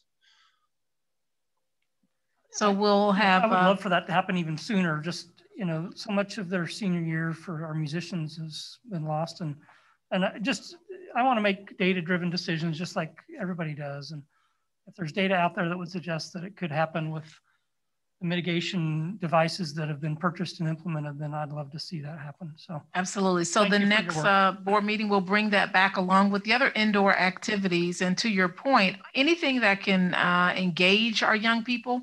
Uh, and want to help them, you know, a lot of people for, especially for drumline, if you've heard kids talk about drumline, strings as well, that things that cause for young people want to remain engaged that they're looking forward to uh, we'd love to be able to see that uh, highlighted and uh, allowed. So, uh, Mr. Reynolds, we look forward to seeing you at the next board meeting as well uh, in November. And if you have a proposal prior to then, if you can, uh, we'll certainly get that to the board if there's a proposal prior to that time. Yes, ma'am. Thank you. Thank you. That'd be great. So on the inclement weather, uh, we uh, have kind of concluded our uh, request, which uh, right now is just to look at remote days. And I just want to make sure that's a head nod for that continued uh, learning. One of the things that we will look at for remote learning um, sometimes we have remote learning because of icy weather or um, in addition to snow. Um, before students go home, uh, if they're secondary, they can download their uh, information on the desktop. And so again, based on forecast, we'll be diligent in doing that.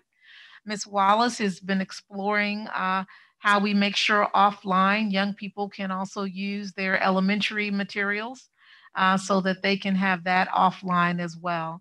One of the reasons why that's important is that even if we don't have ICE, if someone has an issue why they don't have a broadband or internet or fast enough speed, we want them to have the access to uh, materials that they can continue to use and videos. Um, so moving from there, uh, we want to open this discussion up for our board members to have conversation about any COVID uh, related matters. Um, since we now know we're going to revisit uh, next Thursday the scorecard, and if we are uh, red, uh, allow, since we're so close to the Thanksgiving break, for students to remain remote. And then uh, we will look at the next scorecard. And if we have declined, we will uh, suggest that our students return back to school. That's our final item to bring to you. We'll open this up if you have questions about COVID, other COVID matters that we need to address? So just from a perspective of communication and timing, we get the COVID numbers from the county on Thursday. Typically, is that Thursday afternoon? That is correct. We receive it uh, right around uh, between 11 and 12 o'clock generally. So we know right now we're uncontrolled and deep red. Um, so we we will send electronic devices home with the kids at next Wednesday, Wednesday. when they leave first for uh, parent teacher conferences. And then Thursday, we will communicate whether they need to come back in person on Monday or stay home and do remote. That is correct. We anticipate as soon as uh, we we learn what the scorecard is, uh, pretty much all around the same time. So uh, us and parents may see it published as well right around the same time. So Thursday between uh, around around 12 o'clock or so. And uh, as soon as it's published, we'll share the new scorecard. And if it is declined, then we will you know, look forward to seeing our students back the very next week. If, the, uh, if we're still at a very high red rate uh, and we're seeing direct impact to our district, uh, which we're beginning to see that, uh, then we will uh, remain remote through Thanksgiving. We will give an additional update that following week on Thursday again, as soon as the card is posted, uh, because we do want to have students uh, at school, in school, and remain engaged continuously is the goal uh, when it's safe to do so. So every Thursday, uh, if we are at a remote state, we will be updating our families regarding returning Thank you. I, I did participate in a conference call with Dr. Pezzino on Saturday morning. He was alarmed because the number of positive cases was overwhelming his department, and they had 90 positive cases on Friday. Um, they also, um, the, the, percentage of positive case rate, I think, is in double digits now. So every they're getting, I forget the number. I looked at it earlier today. I forget what the number was, but I want to say 12 or 13% of the people who are tested are testing positive, where historically we've been in, this, in the mid single digits. So just encourage our, our community members to help us out um, and stay safe. Mr. Munoz. Yeah, just uh, one more thing, just just to make sure I, I remember correctly in our conversations. Um, so students may stay home, you know, depending on next week and, and that the scorecard.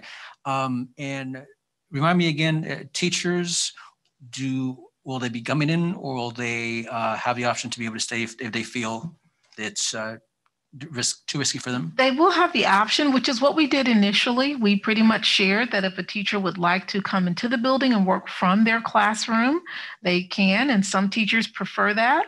If they uh, would prefer and can, and not just teachers, staff who can work from home and they can manage their work from home, uh, that we will uh, be allowing that as well.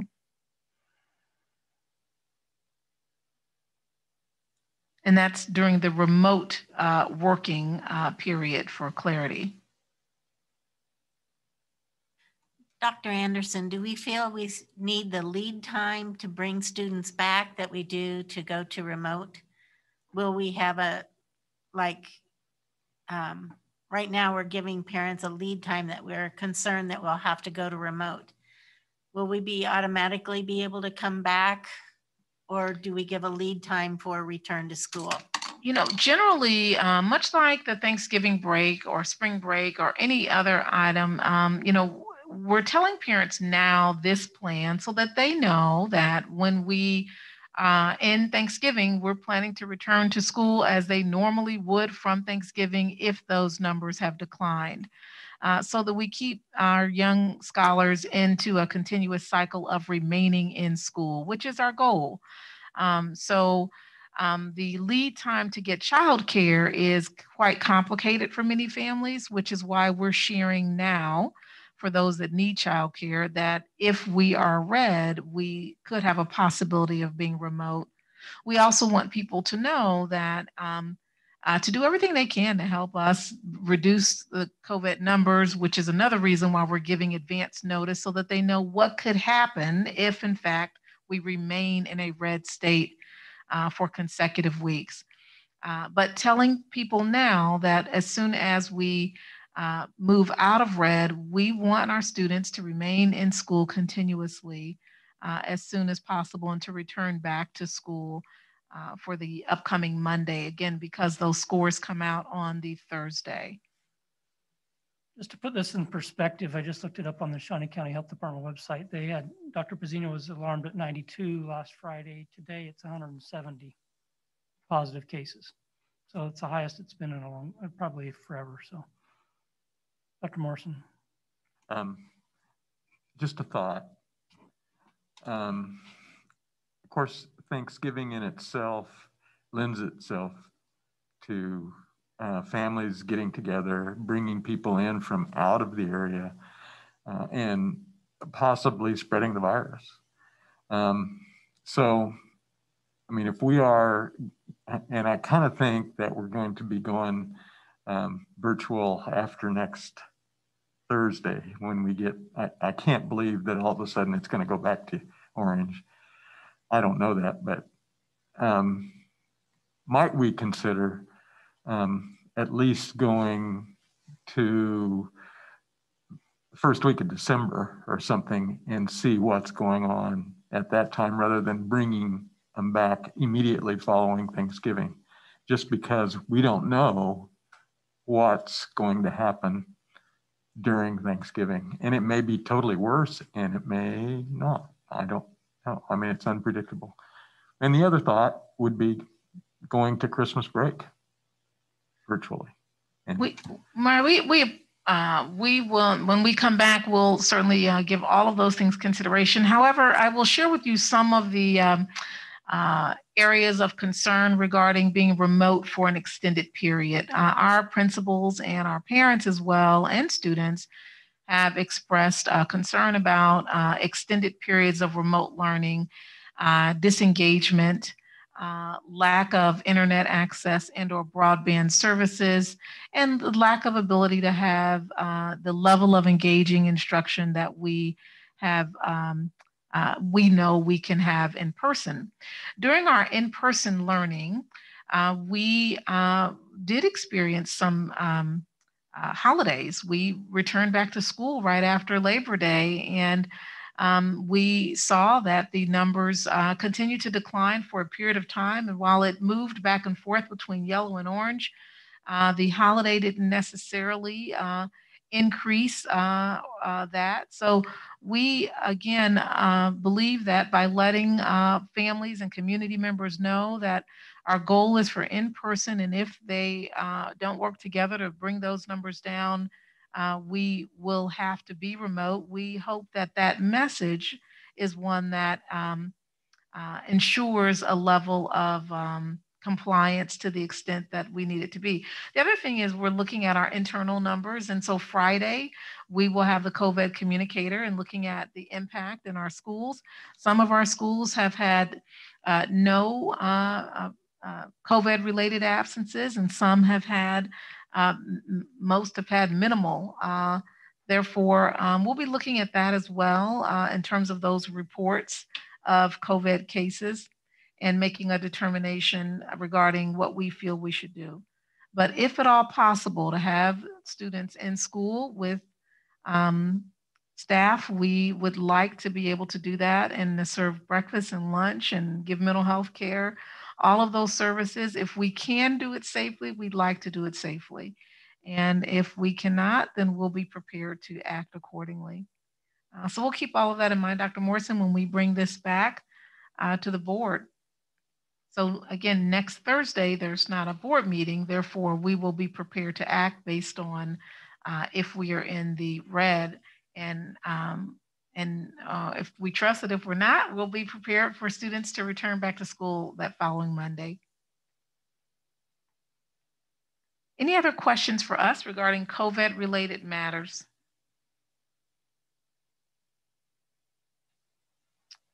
I don't see any. Or, Mr. Munoz, sorry. What's uh, can you talk to me about the impact on uh, paras and our sort of lunch food food staff and anybody else, other staff, and what might be in, in what might what might they expect? In regards to uh, the um, remote learning uh, and what that looks like, uh, Mr. Robbins can talk a little bit about food service and as it relates to uh, paras for remote learning. Previously, uh, when students uh, were learning remotely, paras were um, teaching remotely as well. Often they are joined joining a student's classroom uh, or they are at the school helping prep materials for the teacher, um, or they're following a student's IEP. So that remote learning experience would continue. Related to food service, if we have to move into a remote setting, can you share what that would look like uh, as it would look much like it did previously when we were remote learning? Yes, Dr. Anderson, uh, you're correct about that. Uh, it'll look much like it did previously. Uh, we will be preparing uh, lunches and breakfasts uh, in five uh, base kitchens across the district.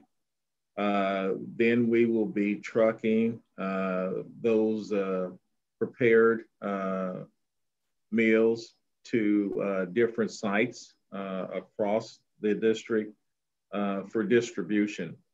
Uh, most of the time, we'll be preparing to have meals uh, seven days worth that students would be able to pick up uh, for both uh, lunch and breakfast uh, at those sites that we have predetermined. So it would probably be approximately 10 to 11 sites uh, like I said, and served by five base kitchens.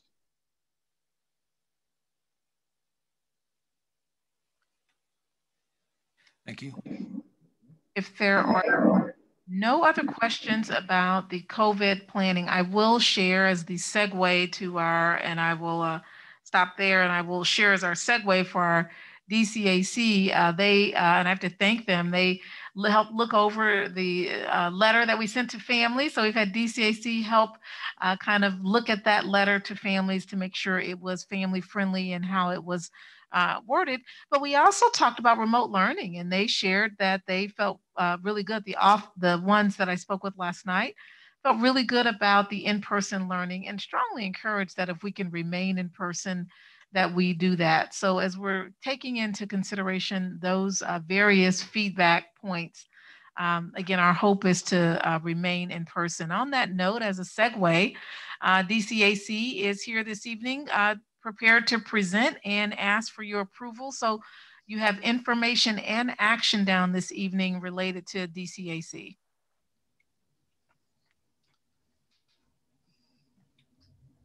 Thank you, Dr. Anderson. Uh, Dr. Mickelson and members of the Board of Education, I'm Ivan Gruder. I am president of the District Citizens Advisory Council, and I'm a parent of two students at Topeka High School and guardian of a second grade student at Meadows Elementary. Thank you for the opportunity to address the board tonight and for our historic partnership between the Board of Education and parents, guardians, students, and community members on DCAC. As representatives, we are here tonight to request your permission to proceed with our 2020-21 study topic, which is required by our Constitution and bylaws.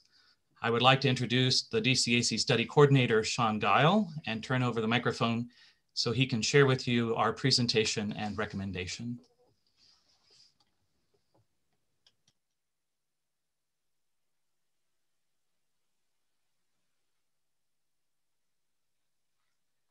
Mr. Guile, we're not able to hear you. We're seeing if that's on our end or Sorry, no, it was on my end. I had double muted myself. I apologize. Um, thank you for your time this evening. DCAC is a group that has been around for 45 years now supporting the Board of Education in a number of areas. And uh, one of the areas that we do is we study topics that the board has said they want more in-depth knowledge from the parents and the community. And that's what I'm here to talk to you tonight about is your, our request to you to approve our new study topic. The study topic, you can go ahead and go to the next slide. That's fine. Thank you. The study topic this year was developed over the summer with consultations between DCAC, the school board leadership and the administration. And we are recommending that the study topic for DCAC be mental health services for students amid and after a pandemic. We feel that mental health is one of the items that is stressed the most right now with the situation. And we think we can add value to the administration and the board with insight and research into what other districts are doing, finding best practices. And in the end, we will bring back to you a report with recommendations. And historically, the board has received those very positively. And there have been a number of recommendations over time accepted. Um, and I know several board members have actually served on DCAC prior to joining the board. And so today we are just here to present to you our proposed topic of mental health services for students amid and after pandemic and request that the board authorize the study to proceed. Thank you, Mr. Guile um, and Mr. Dr. Gruder. I, I, hope it's after the pandemic that you can focus on um, by the time you give your report. Um, so we have a, a proposal to uh, accept this recommendation for the DCAC study topic. Um, and it is an action item. So um, I'll entertain a motion to, to do that. Mr. President, I move the board approve the DCAC study topic as presented. So we have a motion. Do we have a second? Ms. Mrs. Bowley offers a second. Is there any discussion on this? Dr. Morrison. Um, it, it's very apropos. I, we thank you guys for the suggestion. I hope that we can look at the mental health service after the pandemic. I'm, I'm not sure we'll be in a position for you guys to look at uh, uh, mental health services. There may not be an after pandemic uh, while you're looking into this, but um, I hope that's the case. Yeah, I do too. Any other uh, questions or comments for Dr. Gruder or Mr. Guile? Just uh, I don't see any, but I want to just make a comment and thank you for your efforts. I know um, I attended your, virtually attended your meeting last month, and I know your next meeting is scheduled for next Tuesday. And um, if people want to log on, I'm sure, I don't know who from our board is scheduled to participate. Um, It's Reverend Williams. okay. And, and he had to leave early tonight, so um, we'll make sure he's aware of it and doesn't forget it. But uh, Mr. Munoz? My question is, what is the timeline as you begin now to, if we go forward on this topic, what's your timeline in terms of gathering information and when this report might be done?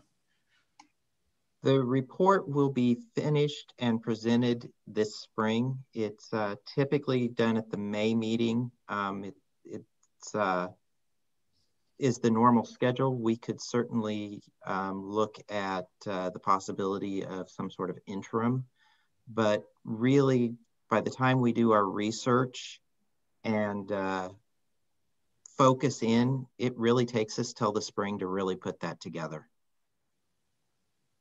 Thank you. Are there any other comments or questions before we vote? I don't see any, so Mrs. Lister, we're ready to vote to adopt the DCAC study topic for this year.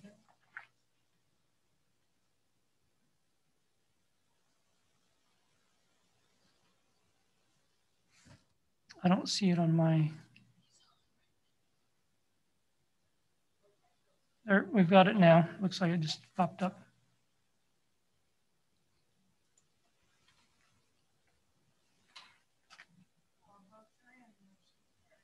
The motion carries. Uh, so thank you for your leadership on the DCAC, and uh, we'll look forward to hearing that report in the spring. Thank you, Dr. Thank you very much. And thank you to Dr. Anderson and Dr. Gray and the administration for all of the assistance they give to DCAC. Thank you, Dr. Gruder. I will share that um, as our DCAC member, uh, Mr. Guile, who helped with the uh, letter uh, yesterday evening, and Mrs. Routsong and others, um, I, I, was going to mention the major maintenance is going to be delayed, but since Mr. Guile is on the screen, and to your question, Mr. Morrison, regarding uh, the uh, extension of the remote, just uh, from as a DCAC representative. Any thoughts on that topic from Dr. Gruder or uh, Mr. Guile, if I may, uh, Mr. Uh, Dr. Mickelson, just since they are here this evening to chime in on their thoughts about that because they certainly don't mind giving their thoughts to me on these topics. Thank you, Dr. Anderson. As a parent, I've and as a member of DCAC, I've received concerns that the community help the school district uh, stay out of the red and that we stay in school. Uh, I think that in school learning is the best for our students. Uh, and as a parent and guardian who would have three kids and people at school all online at the same time, I would simply ask, please keep them in school as much as possible. Yeah, I, I would agree. It, it's the the in-person learning is important. Um, and the district has shown that they've got methods to handle and keep things under control within the buildings. We need to get the message out to the community. We're in danger of going into the remote stage. We need the community's help to remain in the classroom and that that's a topic that the community must help us with. And the district we have a responsibility as a community of educators, and I include parents in that community. We have a duty to get that message out. And uh, we're very supportive of the work that's being done and uh, hope we can get the numbers back where they need to be. And as pastor of Westside Baptist Church, I volunteered every day the entire time we were doing remote uh, since March all the way through doing food service. And I can tell you that food service and food distribution and the mental health services students get in school is incredibly important. And missing that one day, two days, or even three days uh, is, is detrimental to their health. And so just not only education is important, but the social services and the emotional support they get in schools is important. Absolutely. And and you know the the mention has been of the broadband um, that is an area of concern and it's a big enough area of concern the District Citizens Advisory Council has actually formed an advocacy group on broadband whose purpose is to assist the district and the community in advocating for expanded broadband availability within not just the district, but within the region. And I thank you both for your uh, support and work. And uh, we certainly hope to continue to provide in-school services um, as much as possible uh, as it's safe to do so.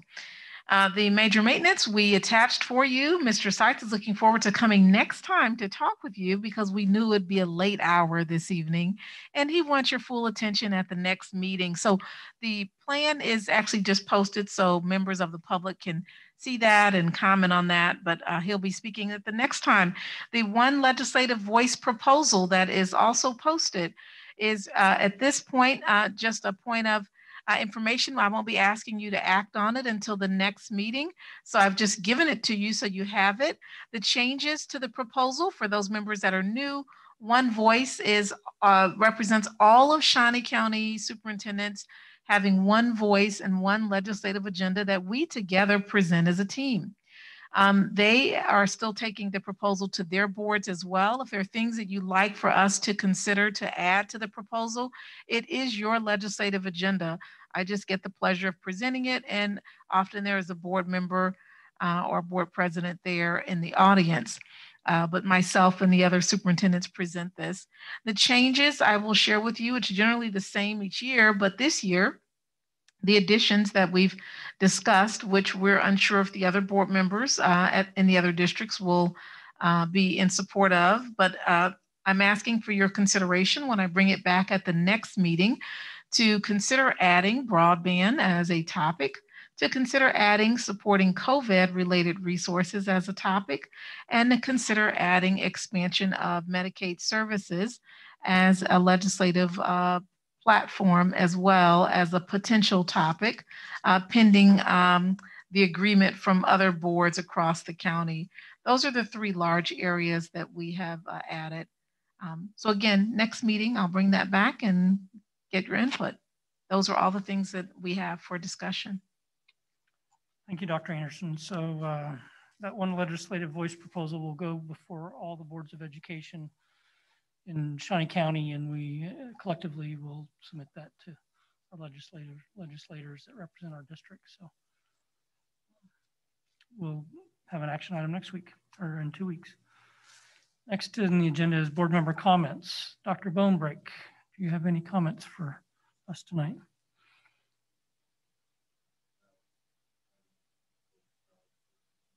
I can't, would you turn on your microphone? I can't hear you very well. Thank you. I don't want to sing the Texas sidestep that Charles Durning did in Best Little Whorehouse of Texas, but it's just hard to keep sidestepping everything. That's all I have to say. Thank you. Dr. Morrison. Um, not much to say. I, I think that the district is on top of the COVID thing. And I, I don't know if the the the parents are still uh, listening, and I do realize it's very important to keep kids in school, and I that's exactly what I wanted to do. Um, but I also see it from my daughter, who's working in the ICU at Stormont Vail, and is seeing all these very sick people and um, some dying.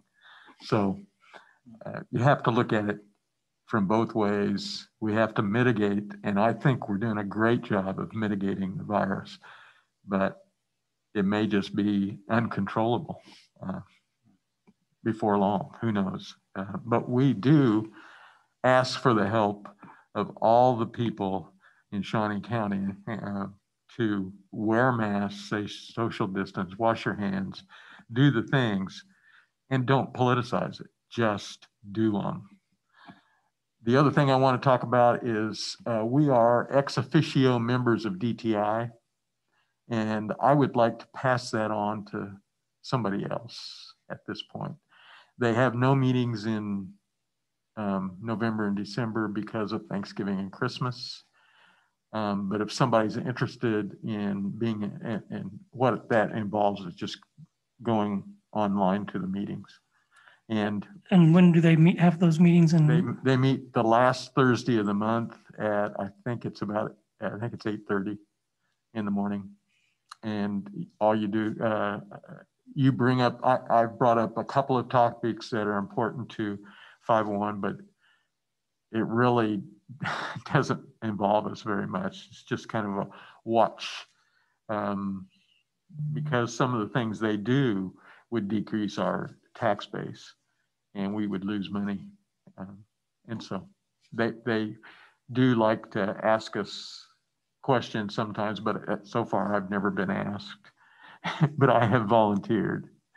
So I just want Scott, if, if somebody's interested in, in sitting in those meetings, I mean, it's just once a month and it's virtually nothing. good, good opportunity to be involved and understand what's happening with, with our community. So if somebody is interested, they can get with Dr. Morrison and learn more about it and the details of that. And we will continue to keep that on the agenda or keep that on the radar so we can find a replacement for you. Thank you for your service there. Mr.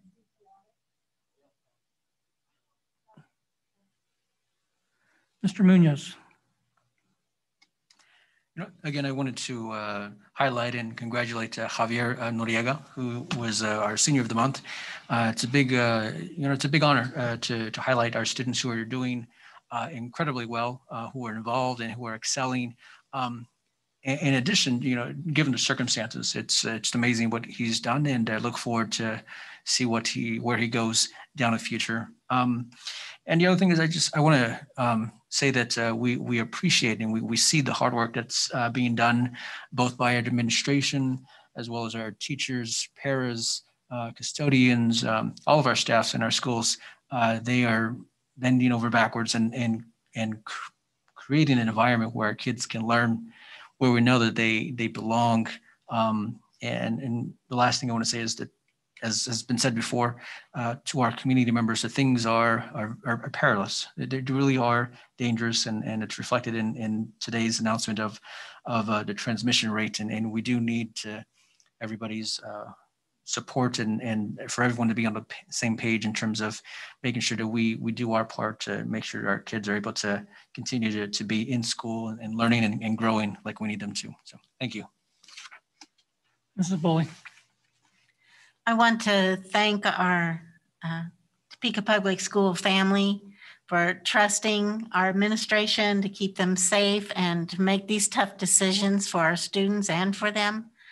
And I'm I just really appreciate their patience. I, I know that this is a really hard year for everyone. And I want to thank them for being very patient and trusting of us.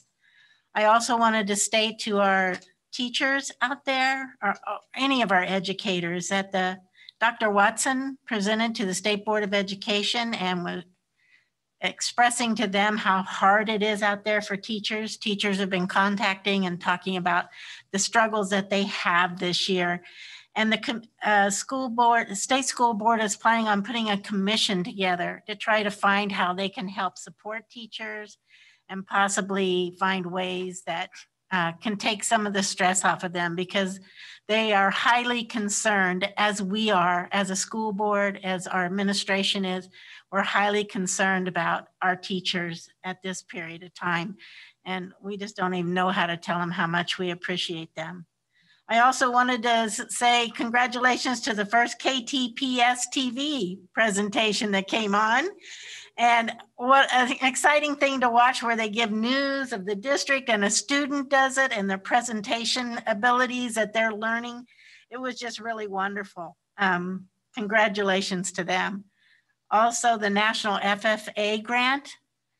Topeka is right smack in the middle of rural America and many students don't know where our food comes from.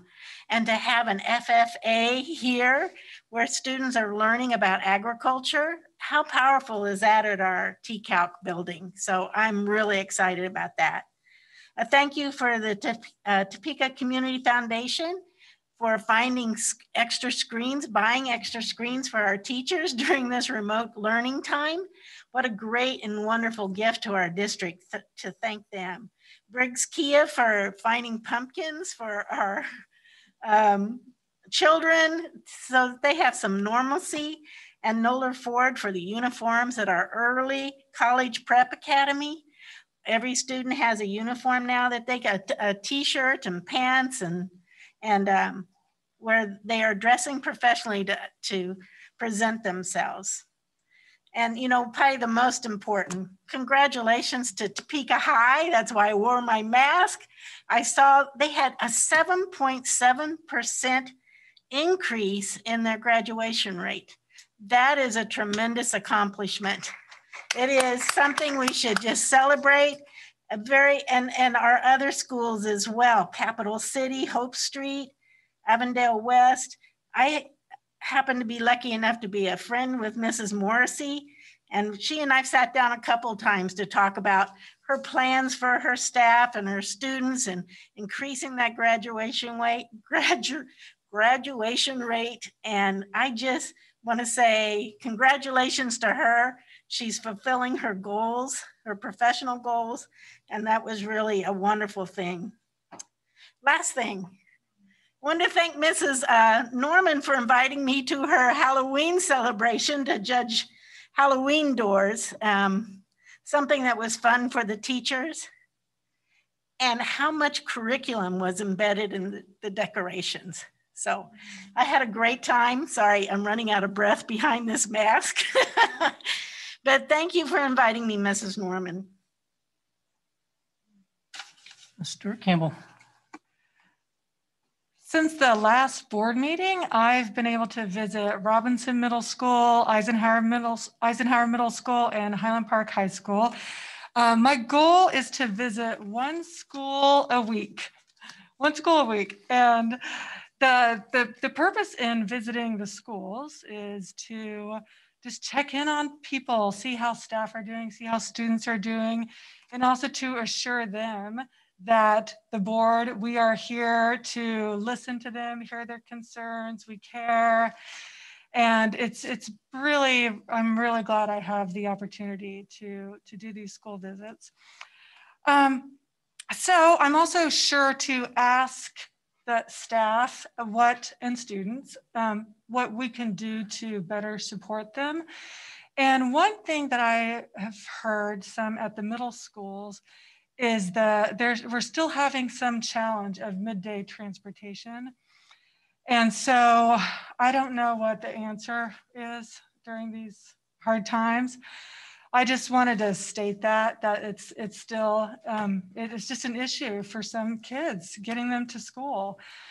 So I I urge parents, the community, just if to help arrange with carpooling or perhaps in some hardship cases, I don't know if, if TPS can, can help, like kids who are within the less than the two mile radius, if they can still in hardship cases. Like I heard a story of, of a kid who lives like 1.3 miles away, um, a middle school student, but he, he couldn't get to school because he had to cross a highway. He just couldn't get to school. So anyway, I don't know if that's possible, how we could help with that, you know, and still adhere to all the COVID precautions on, on the bus, because I know that's a huge, huge consideration. Um, but I was really impressed. I have to say, I had a, I had a great time. And Ms. Bowley talking about um, embedding curriculum. So at, Eisenhower, I had the privilege of attending a class that did this whole Day of the Dead celebration, and it was project based. It was it was amazing. Just all the different um, content that was embedded in that teacher's lesson. Really cool. So I was really impressed by how the the staff, the students were all following COVID precautions and teaching was happening, learning was happening, and just a, there was an upbeat attitude. So just an overall I can attitude. And I just, I, I left those buildings just feeling uplifted. So I look forward to next week's school. So you'll find out about that at the next board meeting. Thank you. Thank you, Ms. Stewart Campbell. Um, just very briefly, um, Mrs. Wallace um, is chair, or, or she coordinates the calendar committee. So we plan the calendar several years in advance, and that committee met last night at 4:30, and we'll meet hopefully the next uh, two Wednesdays at 4:30, typically for an hour or so. She runs a very efficient committee, and they put a proposal or two or three out to the teachers, which who then vote on which one they prefer and um, lay out the pros and cons, and the teachers are able to dissect that out and figure out which one they prefer. So if uh, I know Ms. Bowley went to that committee meeting last night, thank you for doing that on, I think, short notice probably. Um, but if there's anyone else who'd like to learn more about how the calendar is created, then please let me know. Um, the next two Wednesdays at 4.30 if you check your calendars. Um, Ms. Bowley.